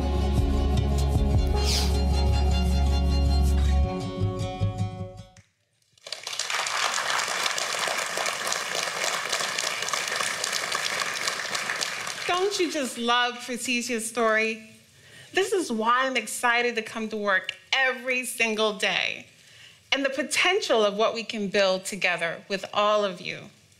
Speaking of exciting, we recently announced a new partnership with the Drone Racing League. We built new immersive learning experiences with DRL that will blow your mind. You can participate in the Google Cloud Challenge where you can get hands-on with DRL's race data and Google Cloud services. You can predict race outcomes, give performance tips to DRL pilots to help them smoke their competitors, and learn all at the same time. And you even get to compete for a chance to win a trip to the season finale of the league's World Championship. You can get started with the challenge right now. We look forward to seeing what you'll build next as we fly into the future of cloud together. Do you see what I did just there? Fly, drones. Okay, okay. Are you ready? Let's go. I'll go first. My prediction is by the end of 2025, developers will start with, with neural inclusive design will see a 5x growth in user adoption in their first two years in production. According to the National Institutes of Health, up to 20% of the world's population is neurodistinct, with the other 80% being neurotypical. These two groups make up what is called neurodiversity. And neurodiversity describes the ways people experience, interpret, and process the world around them, whether in school, at work, or through social relationships. And here at Google, we believe the world and our workplace needs all types of thinkers. What do you think about that, Jim? That's right. One in five of us here are neurodistinct. But what is neuro-inclusive design? Neuro-inclusive design is designed for cognitive and sensory accessibility. One of the things that makes participation in meetings accessible to me is the raise hand function. It allows me to pause the cadence of the meeting to provide an opportunity to share my thoughts. Then we realized that this made meetings better for everyone. It created more structure for everybody, which enabled visibility and broader range of ideas. So neuro-inclusive design starts with raising accessibility for neurodistinct people like myself, but everyone benefits. Good design is already neuro-inclusive when implemented properly. As an example, when developing interactive and visual features, we need to consider how noise, vibrations, or pop-ups show up in design because it creates sensory stimulation that leads to distraction. Design principles can be made neuro-inclusive when you plan thoughtfully for balance, proportion, unity, light, color, space, and patterns. And here are some tips for developers. Number one, design with simplicity and clarity. Number two, remove distractions or extra visualizations like pop-up windows. Three, avoid really bright colors or too much of a single color. Four, Stick with a predictable and intuitive user flow. Five, be thoughtful about the vibe you are setting. Do you need music or sounds to set the tone, or is that just an extra element that can create distraction? And finally, six, stay away from pressure points requiring a quick reaction from the users. This can add unnecessary pressure. Back to you, Janine. Thanks, Jim. This upfront design thoughtfulness is just so important. How often have any of you been pressured to ship something, but you knew you could have improved the user experience with just a little more time? At Google, we feel that ideation, user research, testing, and marketing disproportionately help teams launch more inclusive products faster. While these are standard practices in software development, when we made a conscious decision to have all types of thinkers included across these phases, our eyes opened in so many new ways to be more inclusive. For example, closed captioning in Google Meet helps all of us process information better visually. It also helps people participating in meetings where a different language is used. When you build simple, clear experiences with fewer distractions, your products will inherently drive greater user adoption. In fact, what did I say? I predict 5x more in your first two years in production. This is because developers like us will have built belonging directly into our products. So that's my prediction. Now I'm going to pass the mic to some of my friends here at Google Cloud to share their predictions. Thanks.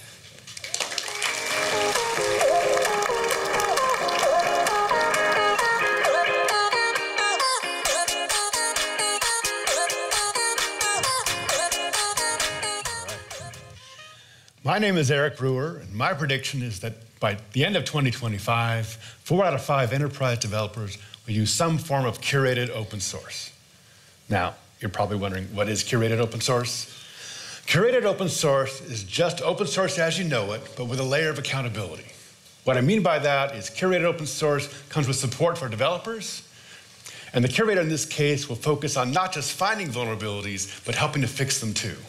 They'll update old dependencies and track new ones.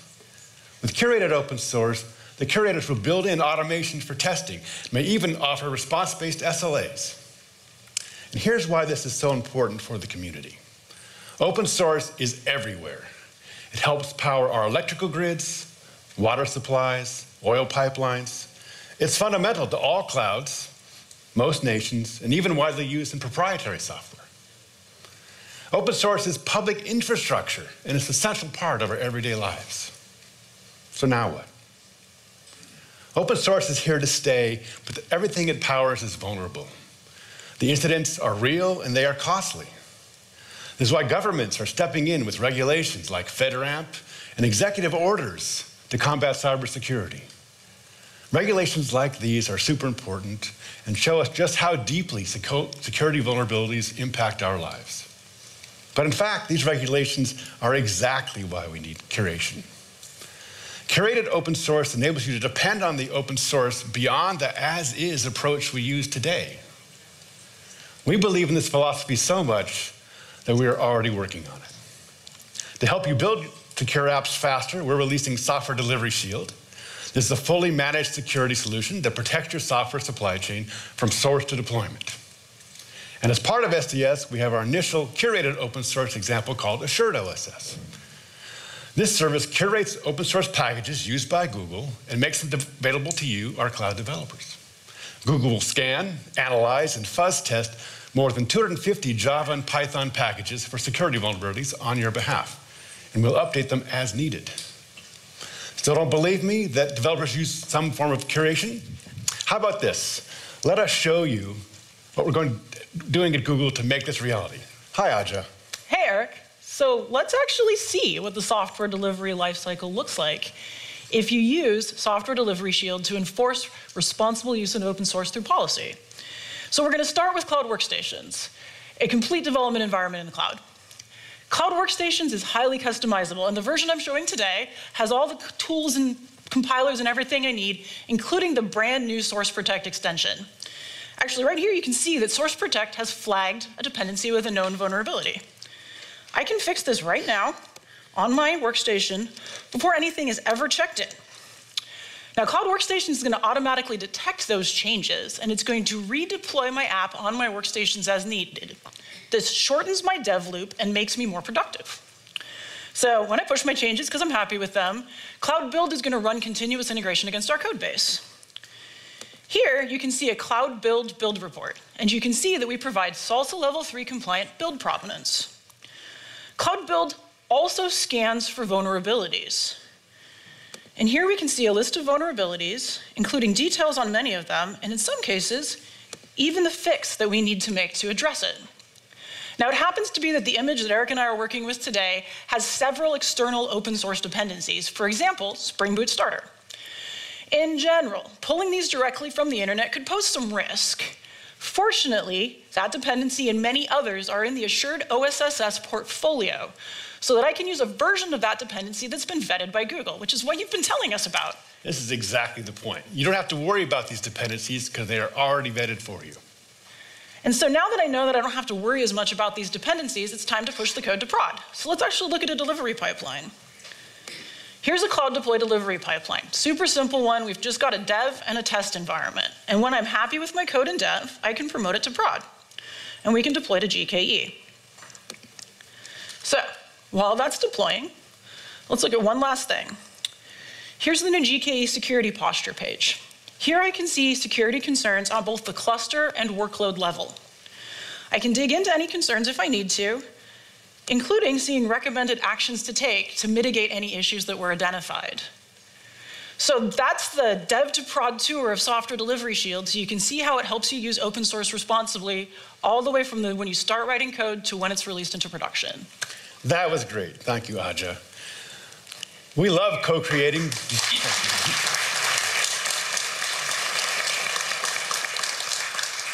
We just want to make sure there's an added layer of accountability to better support you and the apps you build. This is why we believe that four out of five enterprise developers will use some form of curated open source. Thank you.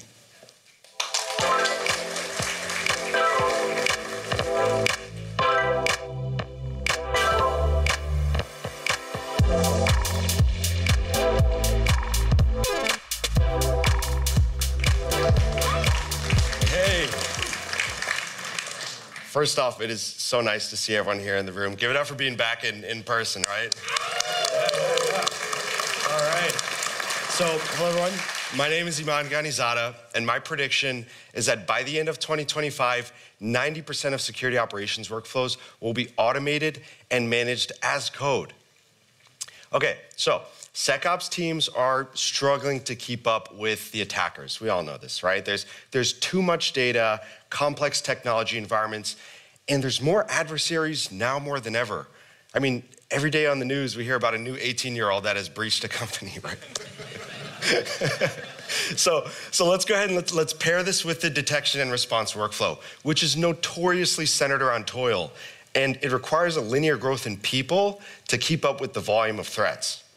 But we all know we can just hire a bunch of more people, right? Like every CISO has a billion dollars in their bank and you know they're just waiting to hire 700,000 people. so this inefficient workflow has basically created the cybersecurity talent shortage. There's over 700,000 unfilled cyber jobs. And these jobs, they're, they're high stress, they're overloaded with toil-based work, and uh, a lot of folks are quite frankly just burnt out. So there's just no way that this issue is going to get solved if we keep doing things the way that we're doing them today. So to scale security across cloud, we're going to make security more agile and accessible to everyone through code. Here's how. So our autonomic security operations framework is designed to help you take advantage of our API first approach with Chronicle security operations and other tools, including many of those tools that are within our new Mandiant portfolio. This shift in our, our new framework takes traditional assembly line security operations workflows into a codified continuous feedback model we call continuous detection, continuous response, or CDCR for short. You can imagine it's, it's kind of like CI/CD, but, but for threat management. We've seen customers like BBVA and NCR, and as well as our MSSP partners like Cyderes, use our tools to build continuous detection and response workflows that scale across billions of alerts. And so earlier this year, we actually partnered with MITRE Ingenuity, with Cyderes and others to launch Community Security Analytics. CSA is an open source repo that we created to foster community collaboration on developing security analytics for your cloud workloads. These analytics can be deployed as code to complement the native detection capabilities in Chronicle and other Google Cloud tools.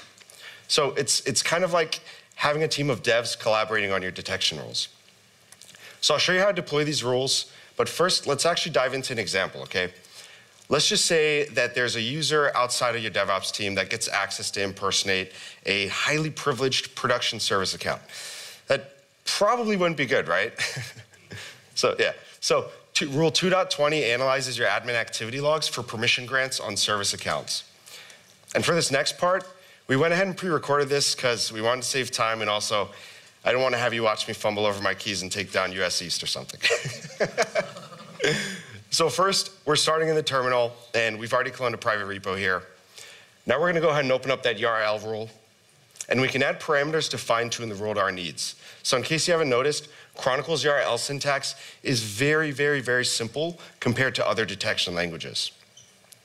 Now we're going to go ahead and commit and push our changes. And we already have a GitHub action set up to auto-deploy these rules into our Chronicle instance. And by the way, Chronicle can be deployed as code, and it can scale across petabytes of data without needing infrastructure or human involvement. I mean, it's, it's as cloud native as they come. Okay, so we're gonna pivot into our Chronicle instance, we're gonna refresh, and let's see, voila. Okay, boom. So there's our new rule, and from this point on, it's gonna start alerting when this malicious activity is identified. We can also run a retro hunt, which essentially takes this rule and it runs it against all of our historical data in Chronicle to see if there's an alert that we missed. And we've done retro hunts with customers that have taken seconds or minutes that may have taken them hours or days with their existing tools. I mean, it's like it's uber fast. We can also use Chronicle SOAR to create a, uh, an automation playbook, basically to figure out how to respond to this type of alert. And we also have we also have APIs to automate this entire thing from ingest to analytics to response. So the moral of the story is what? Um, none of us want to end up on the news, right? so, so in order to make this 90% prediction a reality, security analysts are gonna have to work a lot more like devs so that they can free up time to focus on the most important threats to their organizations. So you'll need to implement modern, developer-friendly workflows like CDCR across your detection and response practice. And what I've shown you today is how we're making it possible for you to do so. Thank you.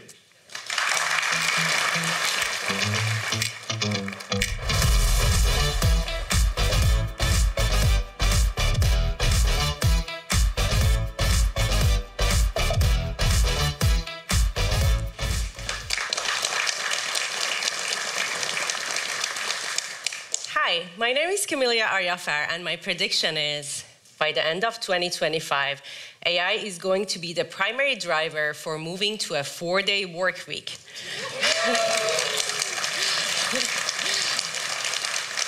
so, what does this mean to you and me? A three day weekend.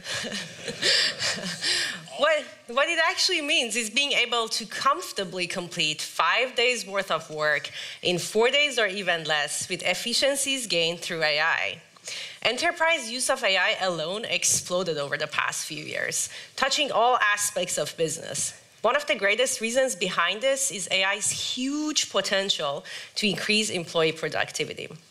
You have told us how excited you are to work with Google Cloud because we make all of the AI research, AI models, and ML toolkits from Google available to you as enterprise-grade products and solutions, like Vertex AI. Since its launch, Vertex AI has helped data scientists ship ML models faster into production by automating routine tasks like model management, monitoring, and versioning. With Vertex AI, data scientists can now build and train ML models five times faster, meaning increased time for experimentation, reduced custom coding, and the ability to move more ML models into production. Today, with the announcement of Vertex AI Vision, we are taking this a step further and providing you with a fully managed development environment for creating computer vision applications.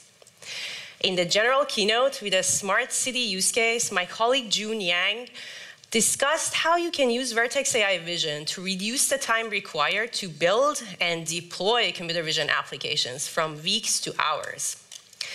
Now, let's dive into three areas that I, as a developer, am most excited about when it comes to Vertex AI Vision.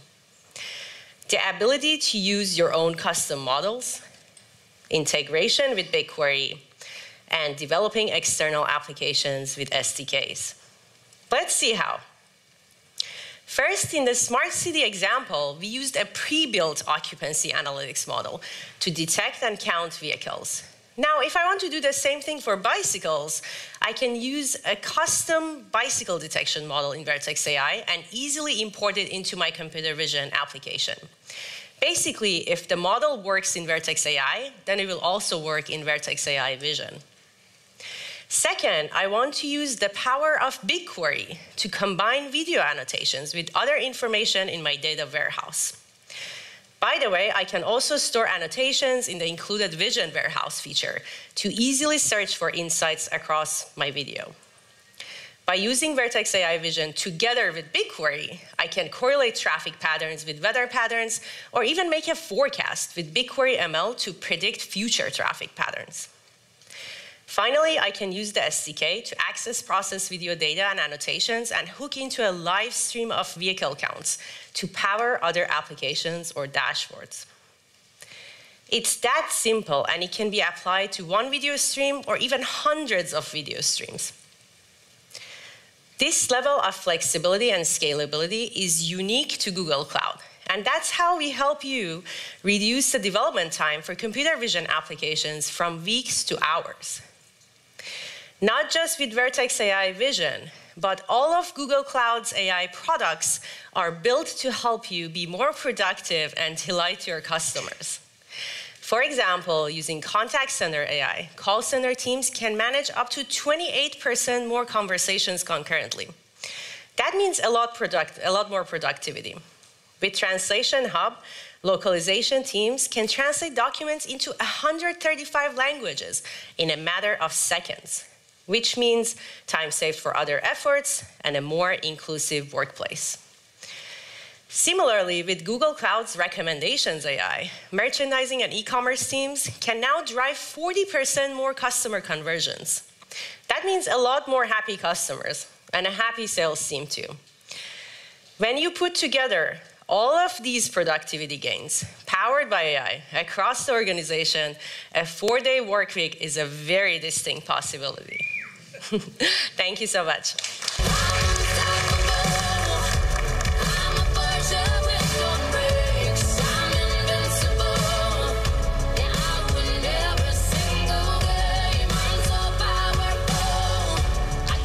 Hi, I'm Irina Farooq, and my prediction is that by the end of 2025, 90% of data will be actionable in real time using ML. I'm sure many of you are pretty skeptical of this prediction, and that's understandable. A recent survey found that only one third of all companies are able to realize tangible value from their data. And we continue to hear that many of you Uh, trying to fix that by taking on the operational burden of managing data infrastructure, moving data around, and duplicating data to make it available to the right users in the right tools. So then, how do we begin to overcome these barriers before data can be actionable in real time using ML?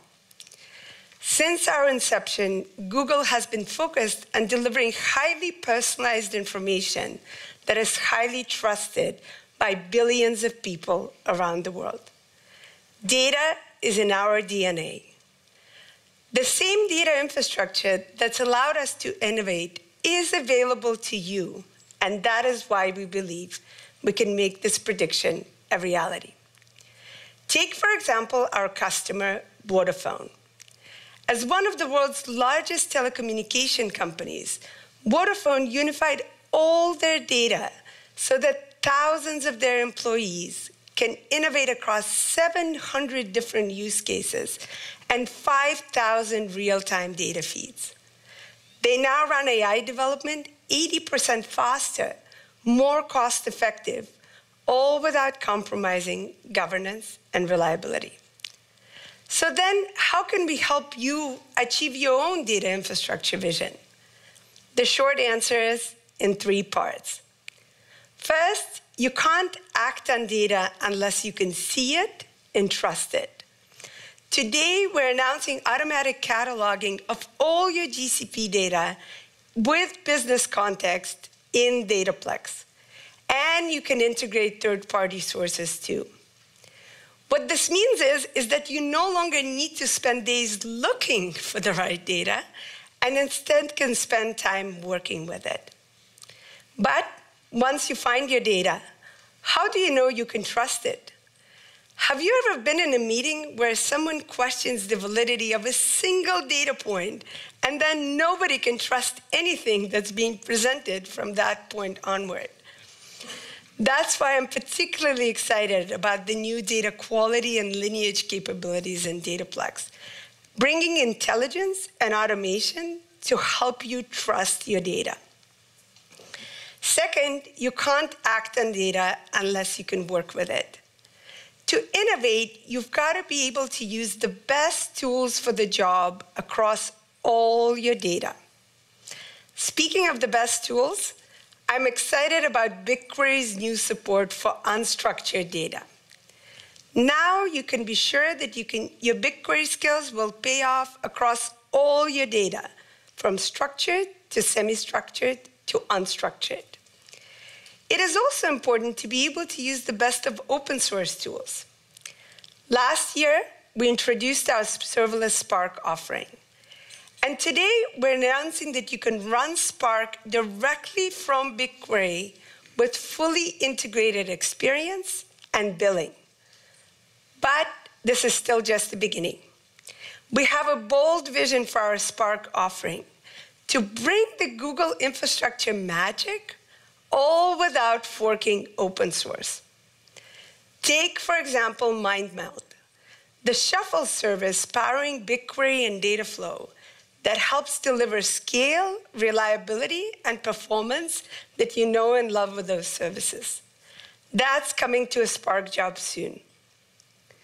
Lastly, you can't act on today's data tomorrow.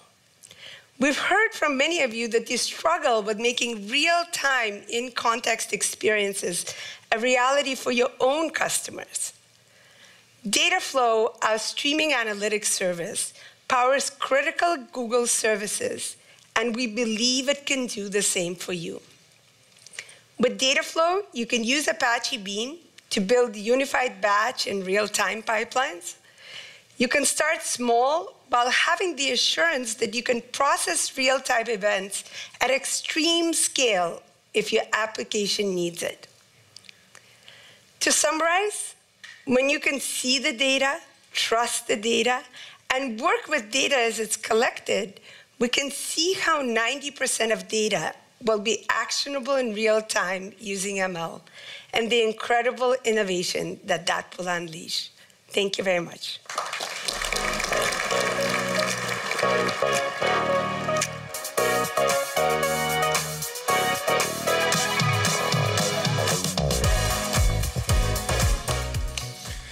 Hi, I'm Andy Gutmans, and I predict that by the end of 2025, the barriers between transactional and analytical workloads will disappear. Traditionally, data architectures have separated these mixed workloads, and for good reason. Fundamentally, their underlying databases are built differently. Transactional databases are optimized for fast reads and writes, while analytical databases are optimized for aggregating large data sets. Because these systems are largely decoupled, many of you are struggling to piece together different solutions to build intelligent data-driven apps. For instance, to provide personalized recommendations for e-commerce, apps need to support both transactional and analytical workloads on the same data set and without negatively impacting performance. At Google Cloud, we're uniquely positioned to solve this problem because of how we've architected our data platform. Our transactional and analytical databases are built on a highly scalable disaggregated compute and storage system and Google's high-performance global network, allowing us to provide tightly integrated data services. And to help you unify your data across your apps, today, I'm excited to tell you more about new capabilities we recently announced. First, Datastream for BigQuery, which allows you to easily replicate data from transactional databases into BigQuery in real time. Next, Database Migration Service, which provides a one-click migration from Postgres into AlloyDB for operational analytics. And lastly, we support query federation with Spanner, Cloud SQL, and Bigtable right from the BigQuery console to analyze data in transactional databases. But don't take my word for it. Let's see how some of these technologies remove barriers for our fictitious company, Cymbal Bank. Cymbal wanted to integrate their core banking features in their app with market data to provide personalized, real-time investment dashboards. The problem was their app's backend was optimized for transactional workloads. So how do they maintain the responsiveness of their app while adding analytical goodness? Cymbal Bank chose Google Cloud's new fully managed Postgres-compatible database, AlloyDB, offering the capability to analyze transactional data in real time. Now, migrating all their existing data with minimal downtime felt like a big lift for the Cymbal engineers. But it turns out that Database Migration Service makes this simple. And I'll walk you through just how easy it is. Database Migration Service lets you migrate from Postgres to AlloyDB with continuous replication, minimizing downtime. Once we define where we're migrating from and where we're moving our data into, we can see the prerequisites for the migration directly in, our, in your UI. Sources are defined using profiles which contain host, username, and password, and you can predefine them like I've done here for Cymbal's Postgres instance. Here we define our destination and some basic configuration options, and then we get to hit create. This part will take a few minutes, so I've sped up time a little bit. Once it finishes, a quick test to ensure that it will all work, and then hit create and start. Once the initial dump is finished, we're now in a state where we have both the old and new database populated with our live data continuously replicating from old to new. And that means we can do cool stuff like testing the performance of our new investment features against both the existing production Postgres database and the new AlloyDB database side by side. Since AlloyDB is fully compatible with Postgres, you don't have to make any application changes. And as you can see, we're getting much better performance out of the new AlloyDB backend. AlloyDB is four times faster for transactional workloads and up to 100 times faster for analytical queries compared to standard Postgres, making it the perfect database for these kind of hybrid workloads. We all want to act on data in real time without the toil of infrastructure assembly and operations. We've given you a taste of how Google Cloud makes it easier for you to build data-driven apps on a unified platform. And this is why I predict that by the end of 2025, the barriers between transactional and analytical workloads will disappear. Thanks.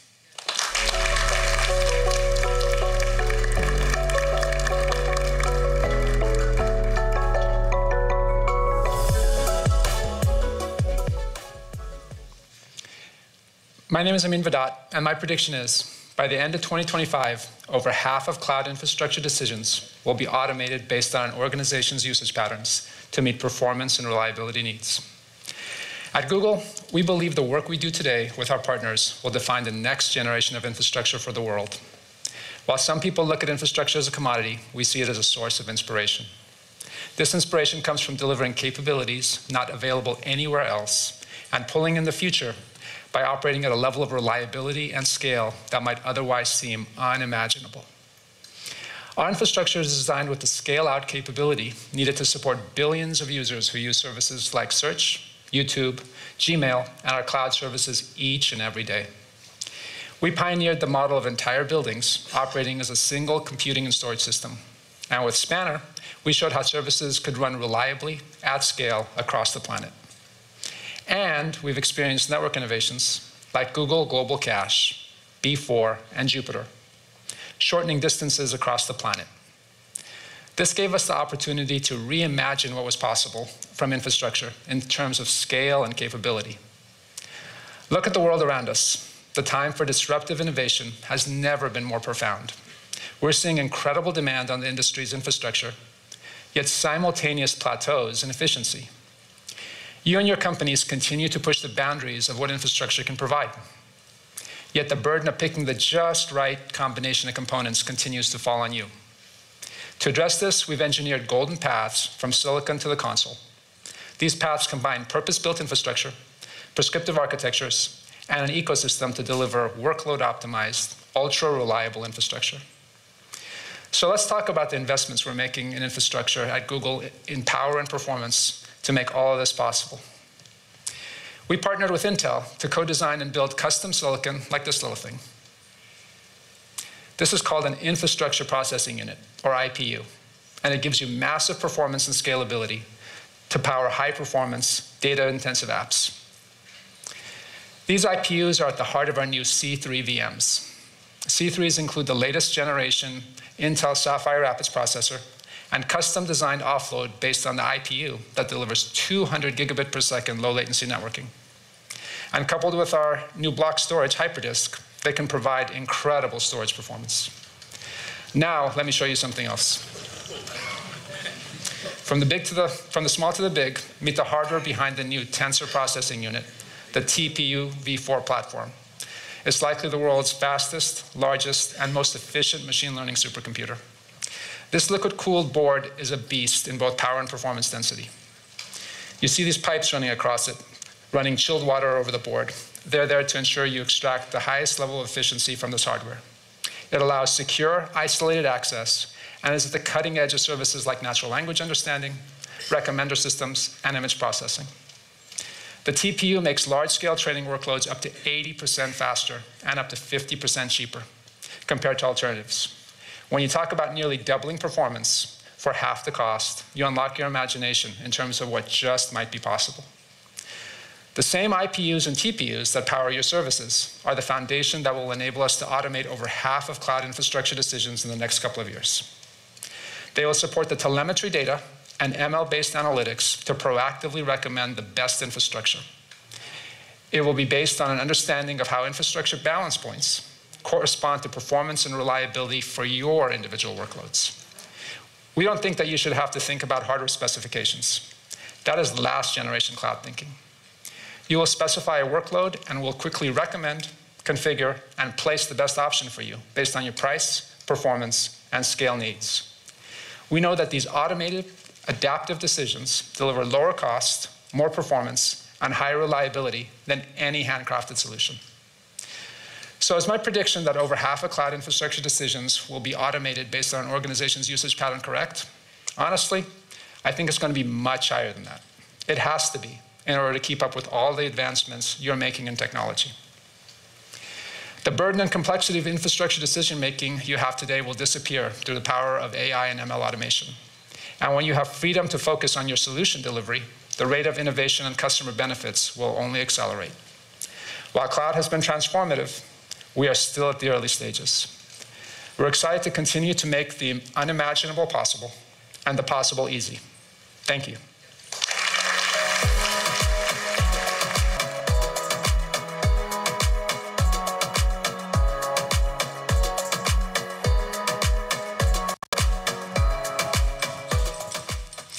Hi, my name is Steren Giannini, and my prediction is that by the end of 2025, three out of four developers will lead with sustainability as their primary development principle.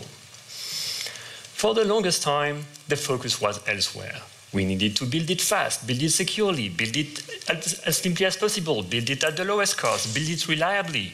Well, now it's also time to build it sustainably. We can't ignore the urgency required from all of us to meet climate targets. And while organizations are moving in the right direction, they struggle to take action. 65% of IT executives said they want to improve their sustainability efforts, but don't know how to do it. 36% of them said they didn't even have the measurement tools in place to track sustainability progress. So, how can we help them out? We can give them better data about the environmental footprint of their business. So today, I am excited to announce that Google Cloud Carbon Footprint, which helps you measure, report, and reduce your cloud carbon emissions, is now generally available.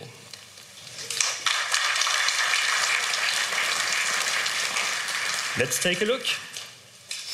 Right from the Cloud Console, you can access the carbon footprint dashboard of your account. The underlying methodology is quite unique and is based on actual measurements of the energy used by machines in our data centers. It is also the complete picture of your emissions. Not only um, emissions coming from electricity production, but also on-site fossil fuel emissions and other embodied emissions coming from data center hardware. This is also known as scopes 1, 2, and 3. And of course, you can break down the data by Google Cloud Project, Google Cloud Region, and Google Cloud Product.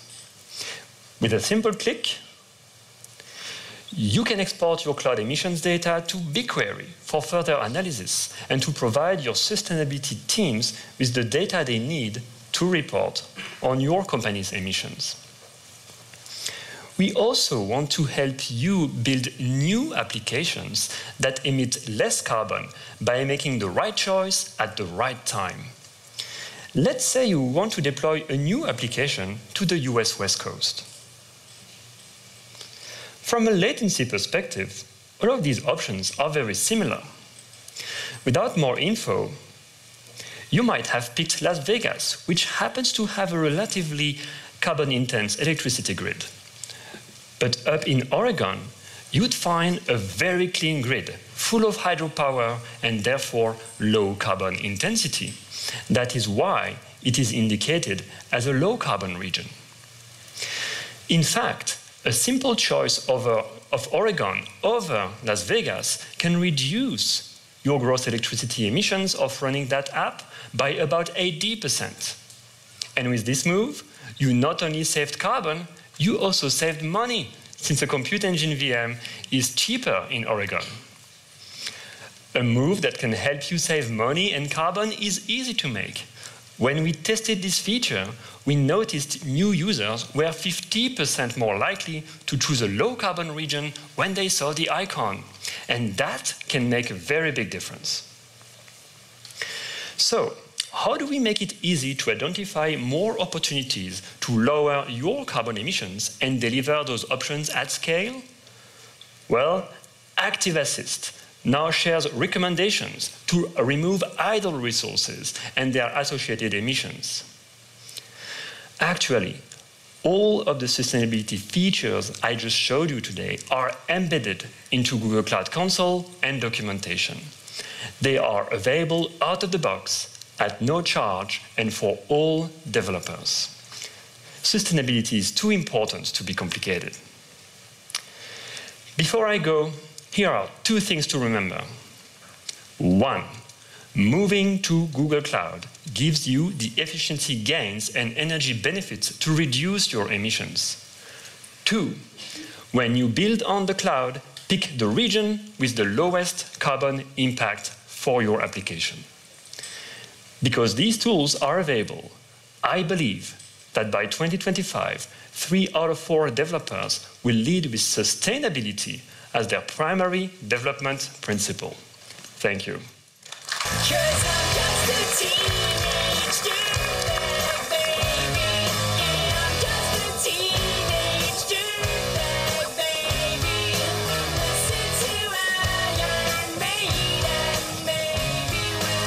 Everybody, I don't know why I did jazz hands. Let's play with that weird energy though, together here today. Let's go. Good. So, hi, my name is Richard Seroter. My prediction for you today is that by the end of 2025, over half of all organizations using public cloud are actually going to freely switch their primary cloud as a result of all these new multi cloud capabilities available. So, quick story I recently moved from the Seattle area to San Diego after a vacation this year with my family. We realized we needed something different. So, bought a house in San Diego before I finally sold the house in Washington. And for a weird time there, I was multi house, and that was not good. But it wasn't, you know, it wasn't my desired end state, but that's okay. Sometimes you're in these multi situations while you transfer from one state to another. And that's related to my prediction here. I think in the years ahead, we're going to see companies use a multi cloud strategy not just as a way to hedge their bets, but as a way to actually switch from their first cloud to their next cloud. So research data shows that the majority of companies are actually multi-cloud today. So research data shows that the majority of companies are actually multi-cloud today, meaning they use more than one hyperscale cloud. Sounds probably pretty familiar to most of you. I'm personally talking to more and more companies, though, that are using multi-cloud technologies as a way not to shift their just their workloads, but their mind share to a different cloud as well. So let's see what that journey might look like. What would that look like? Let's look at like three different steps. We'll do some live demos. What can go wrong? So first, that first part of the journey is how do we meet you where you are today with what you got? You probably use another cloud. That's totally cool. Nobody's perfect. But here at Google Cloud, we've made some unique investments in a multi-cloud management plane that works with your compute and your data, even if it's on other clouds. So in this first step, you're starting to use Google Cloud, but you want to incorporate existing investments in other ones. So consistency matters a ton here, and Anthos plays a huge part. Let's see how. So first off, if you'll see here, I actually have an EKS cluster I built, and I've actually attached this to the Anthos control plane.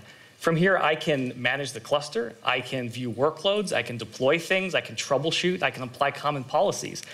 And even with our recent partnership and collaboration with the Crossplane project, I can actually create and manage GKE clusters, AKS clusters, EKS clusters, provision and manage them all the same way from Google Cloud, which is pretty cool.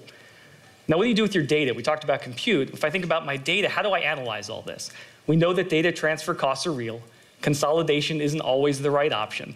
And so for financial, strategic, or even policy reasons, your organization might need data in different clouds. It's okay.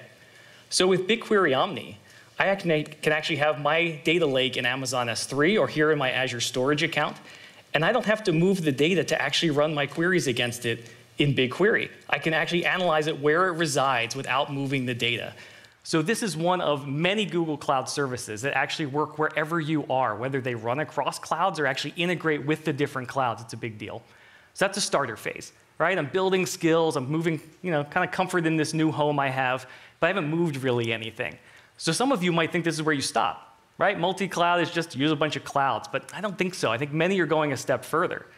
So in the second stage, you start upgrading your tech where it is and growing your adoption of that secondary cloud. So step two, as I start using Google Cloud Services, let's say things like GKE, which are awesome, I want to use it even more and more. So I might introduce things like Anthos clusters to Azure and AWS. This is the GKE API and GKE software running across clouds, which is amazing. And just now, we just shipped the capability where I can even upgrade those clusters in place on another cloud from the Google Cloud Console. That's awesome. I don't have to jump all over the place to run all my infrastructure. Now, here you might also start creating a multi cloud mesh and say, look, I want to actually maintain services that run across clusters in different clouds. In this particular mesh, my web app is spread across GKE, EKS clusters, all of these different places. I'm actually able to manage those services and see them and connect them wherever they are. Now let's talk about data. At this point in the game, you might use our great service Datastream to redirect your existing Aurora cluster in AWS from Redshift. Maybe you want to steer it to BigQuery instead. And I actually built a stream that connects from my Aurora database and feeds the data in real time to BigQuery. Pretty awesome stuff. So use Datastream to move data around as well. So that's cool. So for some, multi-cloud is a bit of a phase. It's not a permanent state. You're not trying to get there. Your final stage could be a full-on migration to your new primary cloud. So once you've invested in Google Cloud, you might start taking advantage of really awesome stuff like GKE Autopilot. This is a fully managed Kubernetes environment where we are running the whole thing. You don't manage clusters, you just deal with your workloads. It's awesome and exclusive to Google Cloud. Now, what's really cool is you may also continue to use Anthos on Google Cloud to manage all of your fleets of GKE clusters at all of our regions around the world. I'm showing you some new dashboards here that are coming out. And this actually, actually lets me manage not just my GKE clusters, but I'm managing on-prem, bare metal, VMware, Edge, doesn't matter. I'm getting a view of my entire fleet and managing that. So now you get things like BigQuery for analytics, you're in Google Cloud, Spanner for distributed data, AIML for amazing insights, all these unique developer tools and more. So look, if you forget everything else that I've talked about here today, remember that Google Cloud has a really unique management plane that meets you where you are, but honestly takes you further. So this is why I believe over half of companies using public cloud today will freely switch their primary provider in the coming years as a result of all these great multi-cloud capabilities. Thanks a lot.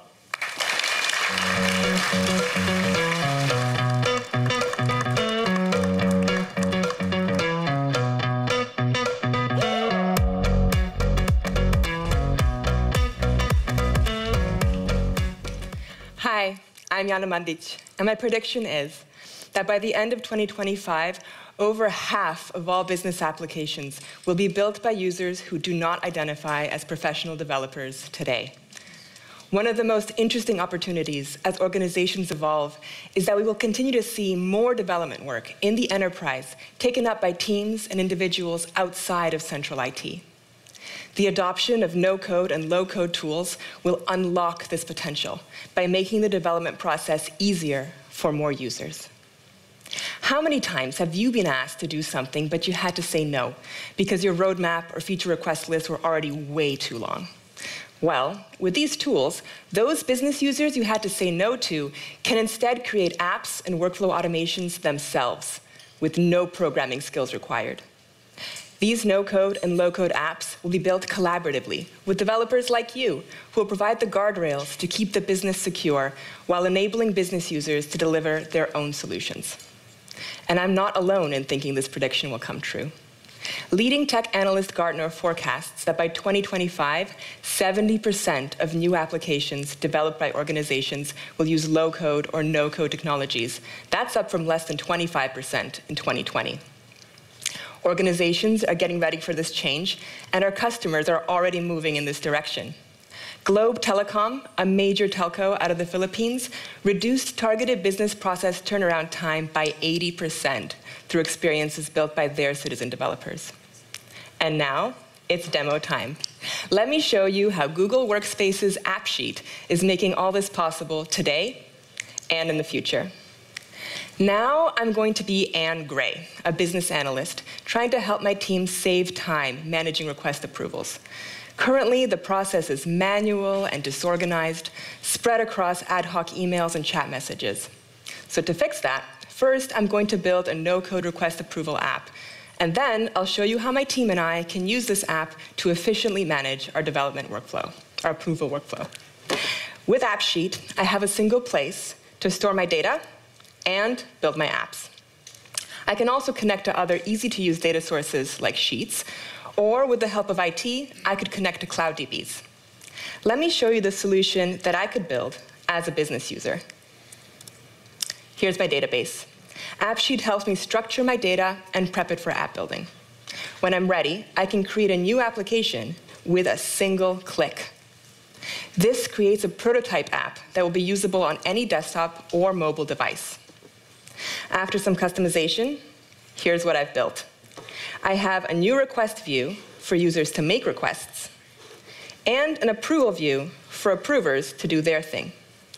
Each of these views is available to me in mobile apps and desktop apps by default, and I can also configure them to show up in Gmail and chat, meeting my users where they are. Here is my Google Chat app. With this, my users can make requests directly from their team chat space, and it's reusing the same request view I configured earlier. Here's my automation that will send the approval view to the approvers in email. When I'm happy with my app, I can share it with my users, and I can add it to my chat spaces. Throughout this whole process, everything I created is controlled by governing policies set by the company's workspace admin. For example, here's what happens if I try to share the app outside of my domain. AppSheet blocks me and keeps company data secure. This allows IT to do two things. One, keep a clear line of sight on all apps so they can deprecate, update, and retire them when necessary. And two, restrict access to only those users who need it. Now let me show you how my colleague Jeffrey and I can use this app to manage our request and approval workflow. I'll be Jeffrey now. I'm on Anne's team, and I have a request to make. Let me ask Anne how to use her new app. She's added the bot to the space, and now I can quickly submit my reimbursement request. Okay, now I'll be Anne again. I got this email for Jeffrey's request. I can review and approve it directly from here. And if I have a pile of requests to review, I don't have to click through individual emails. I can pop into the app and see everything in one place. This app is accessible to all the users, requesters and approvers. With simple sheets-like expressions, it's configured so the requesters see only their own requests and approvers see all the information that they need. You saw just how easy we are making it for non-technical users to create business applications that meet their immediate needs. With no code and low code, you and your business users now have more tools to work with. This is why I believe that over half of all business apps will be built by users who don't identify as professional developers today. Thank you. Well, folks, that's a wrap on our predictions. We're excited about the conversations this will start and continue with all of you. Remember, if you want to share your own prediction, use the hashtag Google Cloud Predictions to tell us all about it. We can't wait to hear from you. Thank you for your continued inspiration and for partnering with us to build what's next. So, are you ready? Enjoy the rest of the show. Thank you, everyone.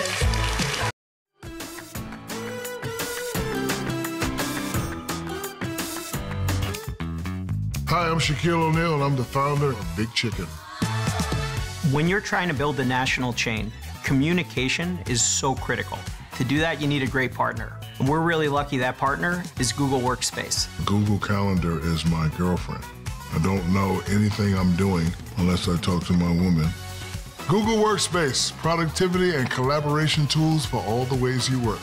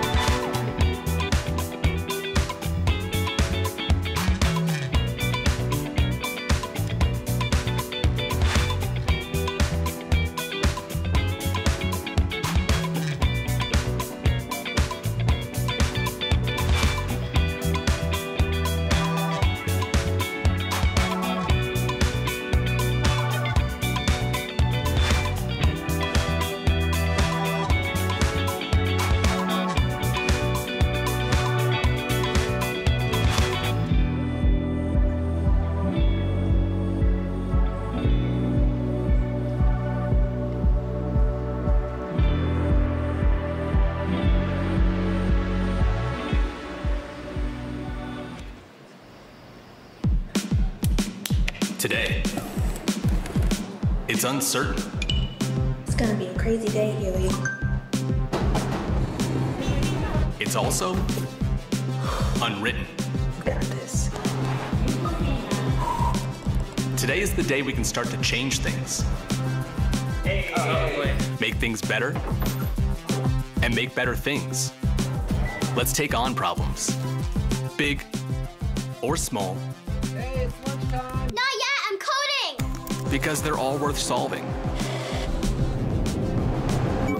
Let's make tech more helpful, more open, and accessible to everyone. Let's keep data safe and people safe. Look after the environment and each other. Today may surprise us, push us, even scare us. That's why we're here. Let's take those challenges and make something even better for tomorrow.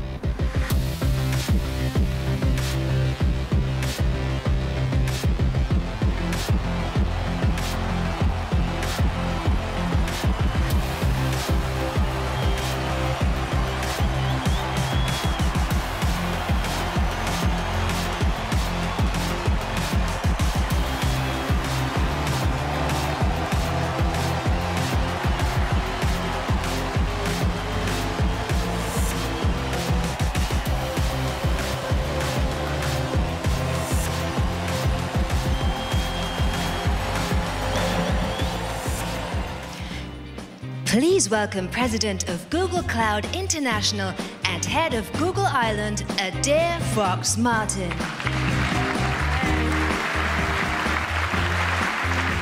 Good morning, everyone, and welcome to Google Cloud Next. I'm delighted to have all of you here with us today, and to the tens of thousands joining us virtually from across the region, thank you so much for tuning in. And for those of you here in Munich, it's been three years, three whole years since we've had the chance to connect face to face at a next event, and we have a lot to catch up on. I'd like to take a moment, if I could, to thank all of our partners who've helped to make this event possible. Special thanks to our Luminary sponsors, Accenture, Atos, C3AI, and Deloitte. Indeed, Google Cloud could not do what we do for our customers without the continuing and ongoing support of our partners. And I can't actually think of a more fitting location to bring us all back together. I had the pleasure of living here in Germany for nearly five years, and it's truly synonymous with technology. As a case in point, right here in Munich, it's home to the largest technology museum in the world. But it isn't called that Technology Museum, it's simply called the German Museum.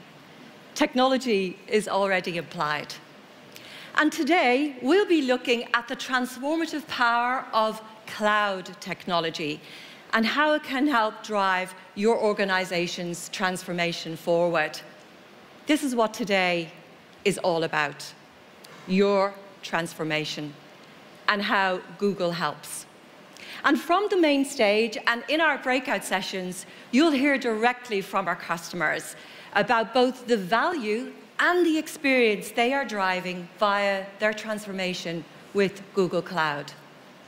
You'll hear how they're solving some of the most critical business problems and also taking on some of the world's most formidable challenges today, tomorrow, and long into the future. So let's get started. To set the stage, let's connect with our very first customers. In the past few years, Renault Alliance and SEB have both aggressively been pursuing transformation strategies. And for both organizations, cloud technology sits at the very core of their transformations. To share more about this bold course of action, please join me in welcoming two leaders. Renault Alliance's Vice President of IT Services, Stefan Van Uck, and Petra Ålund, Head of Tech and the Group Executive Committee member from SEB. Please join me in welcoming to the stage.